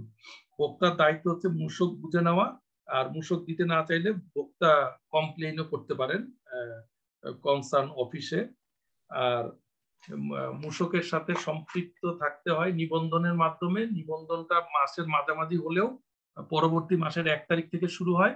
পঞ্চাশ লাখের উপরে তালিকাভুক্তিকরণ তিন কোটির উপরে নিবন্ধন এবং ম্যান্ডেটরি নিবন্ধন আছে আমাদের ওই জিও অনুযায়ী। আর বিন আগে নয় ডিজিট ছিল, এখন পনেরো ডিজিট বিনটা পাওয়া যায় অ্যাপ্লিকেশনের মাধ্যমে। আপনার নেসেসারি ডকুমেন্ট দিতে হয়, তিন দিন সময় লাগে। বিন নিলে আপনার আমদানি ক্ষেত্রে land registration import export certificate tender participation enlistment এগুলিতে সুবিধা হয়। মূসক সম্মাননা পত্র দেওয়ারও ব্যবস্থা আছে। আঠারো দশমিক পাঁচ ফর্ম অনুযায়ী এক বছরের জন্য প্রযোজ্য। মূসক নিবন্ধন করলে বেশ কিছু বেনিফিট পাওয়া যায় ব্যবসায়িক ক্ষেত্রে। টার্নওভার পিরিয়ডটা ক্যালকুলেশনটা আমরা দেখলাম। রানিং বিজনেস ক্ষেত্রে বিজনেসের ক্ষেত্রে পিরিয়ড শুরু হওয়ার থেকে এক বছর এবং নতুন বিজনেসের ক্ষেত্রে আগের এক মাস আগের প্রথম ডেট থেকে শুরু করে এক বছর পর্যন্ত। আর মূসক কর্মকর্তা, কর্তা যদি চাইলে সদ্যোগেও নিবন্ধন করিয়ে দিতে পারেন। নিবন্ধন না থাকলে অর্থনৈতিক কার্যক্রম অব্যাহতি থাকলে মূসকটা ম্যান্ডেটরি না, আবার এই ক্ষেত্রে স্বেচ্ছায়ও হতে পারে। ইনফরমেশন আপডেটের ক্ষেত্রে হচ্ছে form two point five business address change করতে গেলে টু পয়েন্ট সেভেন অনলাইন অ্যাপ্লিকেশনটা আমরা দেখলাম। মূসক নিবন্ধনটা ব্যবসা প্রতিষ্ঠানে রাখতে হবে এবং এটা অবশ্যই শো করতে হবে। মূসক নিবন্ধন বাতিল করতে গেলে পনেরো দিনের অ্যাপ্লিকেশন করতে হয় এবং ফাইনাল রিটার্নটা জমা দিতে হয় পনেরো দিনের মধ্যে এবং পরবর্তী পনেরো দিনের মধ্যে কমিশনার এটা ক্যান্সেল করতে পারেন। হারিয়ে গেলে ডাউনলোড ইত্যাদির মাধ্যমে কালেক্ট করা যায়। মোটামুটি আমরা অ্যাডমিনিস্ট্রেটিভ ইস্যুগুলি ছিল আর কি, এগুলি আজকে আমরা দেখলাম। তো ওরকম আমার দিক থেকে ওরকম কোশ্চেন নাই, যেটা আমার মনে হয় যে আমরা বুঝতে পেরেছি। Thank you thank you Mohiuddin ভাই। আমরা আমাদের কোর্সের মূল বিষয়বস্তুই হচ্ছে আইন। মূল্য সংযোজন কর ও সম্পূরক শুল্ক আইন মূল্য সংযোজন কর ও সম্পূরক শুল্ক বিধিমালা এবং রিলেটেড যে government order SRO act finance অ্যাক্টে যে ভ্যাট এবং সাপ্লিমেন্টারি ডিউটি রিলেটেড যে বিষয়গুলো আছে, এই বিষয়গুলাই হচ্ছে আমাদের কোর্স কারিকুলামের মূল বিষয়। তো এই বিষয়গুলো আমরা পড়ার ক্ষেত্রে আমরা কিছু প্রয়োজনীয় বিষয়গুলা শুরুর দিকে পড়ছি। এখানে আমরা পুরো আইনটি এবং পুরো বিধিমালাই পড়ব এবং আমরা পড়ছিও আমাদের যে কোয়েশন আনসারের মাধ্যমে আমরা যে বিষয়গুলা পড়ছি, এগুলো আইনের কিংবা বিভিন্ন গভর্নমেন্ট অর্ডার কিংবা তফসিল আছে এখানে চলে আসছে। তো আমরা এভাবে আমাদের আলোচনা কন্টিনিউ করে যাব। যখন আমরা আমাদের যে ফ্রিকুয়েন্টলি আস্ক কোয়েশন যেগুলো আছে এখানে মোট এখন পর্যন্ত আপডেটেড একশো সাতাত্তরটি কোয়েশন আছে। আমরা চেষ্টা করব এগুলা শেষ করার মাধ্যমে মূল্য সংযোজন কর আইনের যে এবং বিধিমালার যে অতি প্রয়োজনীয় যে ধারাগুলা আছে, দফাগুলা আছে যেগুলা সচরাচর মূল্য সংযোজন কর আইন সম্পর্কে জানতে এবং তা প্রয়োগের ক্ষেত্রে প্রয়োজনীয়, সেগুলো আমরা ভালোভাবে পড়ে নেব। এবং পরবর্তীতে যখন আমরা এখানে মূল্য সংযোজন কর, আইন ও বিধিমালা মূল আইনটি আমরা প্রথম অধ্যায় থেকে পড়া শুরু করব, তখন আমরা দেখা যাবে এই পদ্ধতিগুলাই এখানে চলে আসবে, যেটা আমরা প্রশ্ন উত্তরের মাধ্যমে দেখেছি। আমরা, আমি যদি একটু স্ক্রিন শেয়ার করি, তাহলে আপনারা বিষয়টি দেখতে পাবেন। এখানে আমরা আইনের আইনটি দেখতে পাচ্ছি। মূল্য সংযোজন কর ও সম্পূরক শুল্ক আইন দুই হাজার বারো। এখানে প্রথম অধ্যায়ে দেখবেন সংক্ষিপ্ত শিরোনাম, প্রবর্তন, সংজ্ঞা, আইনের প্রাধান্য বলা আছে। দ্বিতীয় অধ্যায়ে মূসক নিবন্ধন ও টার্নওভার কর তালিকাভুক্তির বিষয় বলা আছে। এখানে মূসক নিবন্ধনযোগ্য ব্যক্তি নিবন্ধন, মূসক নিবন্ধন পদ্ধতি, নিবন্ধিত ব্যক্তিবর্গের তালিকা প্রকাশ ও সংরক্ষণ স্বেচ্ছা মূসক নিবন্ধন মূসক নিবন্ধন বাতিল, তালিকাভুক্ত ভুক্তিযোগ্য ব্যক্তি ও তালিকাভুক্তি। তালিকাভুক্তি বাতিল। সৌদ্যোগে নিবন্ধনযোগ্য ও তালিকাভুক্তি যোগ্য ব্যক্তিকে নিবন্ধন বা তালিকাভুক্তিকরণ। সনদ প্রদর্শনে নিবন্ধিত বা তালিকাভুক্ত ব্যক্তির দায়িত্ব। পরিবর্তিত তথ্য অবহিতকরণে নিবন্ধিত বা তালিকাভুক্ত ব্যক্তির দায়িত্ব। এই বিষয়গুলা দ্বিতীয় অধ্যায়ে যে বিষয়গুলা আছে, আমরা আমার মনে হয় সব বিষয়গুলা নিয়েই আমরা প্রশ্ন উত্তরের মাধ্যমে আলোচনা করেছি। এবং আমরা তৃতীয় অধ্যায়েরও কিছু বিষয় আলোচনা করেছি। একটা হচ্ছে মূসক আরোপ মূল্য সংযোজন কর পরিশোধে দায়ী ব্যক্তি, বাংলাদেশে প্রদত্ত সরবরাহ, নিবন্ধিত সরবরাহকারী এবং সরবরাহ গ্রহিতা। এই বিষয়গুলো আমরা আসব। এখানে শূন্য হার বিশিষ্ট সরবরাহ আছে। আমদানি সেবার ক্ষেত্রে বিষয়গুলো আছে।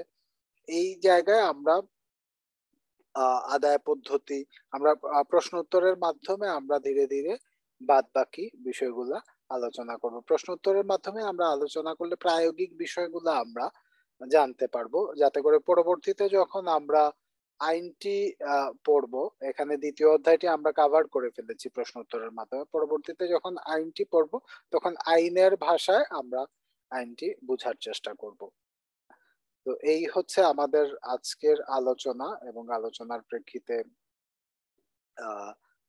যে কোয়েশনস ছিল কিংবা পরবর্তী পূর্ববর্তী ক্লাসের আলোচনার প্রেক্ষিতে যে প্রশ্ন উত্তর ছিল, তা আপনাদের কোনো পরামর্শ যদি থাকে ক্লাস রিলেটেড তাহলে জানাতে পারেন। কোনো ধরনের ইমপ্রুভমেন্টের জন্য আমরা যদি কিছু করতে পারি।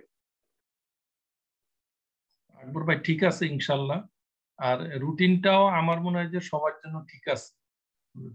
যেহেতু আমরা এই কয়েকজন দুই দিনই আছি ফ্রাইডে স্যাটারডে মানে আমি নিজে কমফোর্টেবল রুটিন মানে ক্লাস ক্লাসের টাইম হয়তো কিছু টুকটাক স্যাক্রিফাইস করা লাগবে বাট আমি মনে করি যে টাইমটাও ঠিক আছে আমাদের জন্য। থ্যাংক ইউ কারও কোনো পরামর্শ যদি থাকে ক্লাস রিলেটেড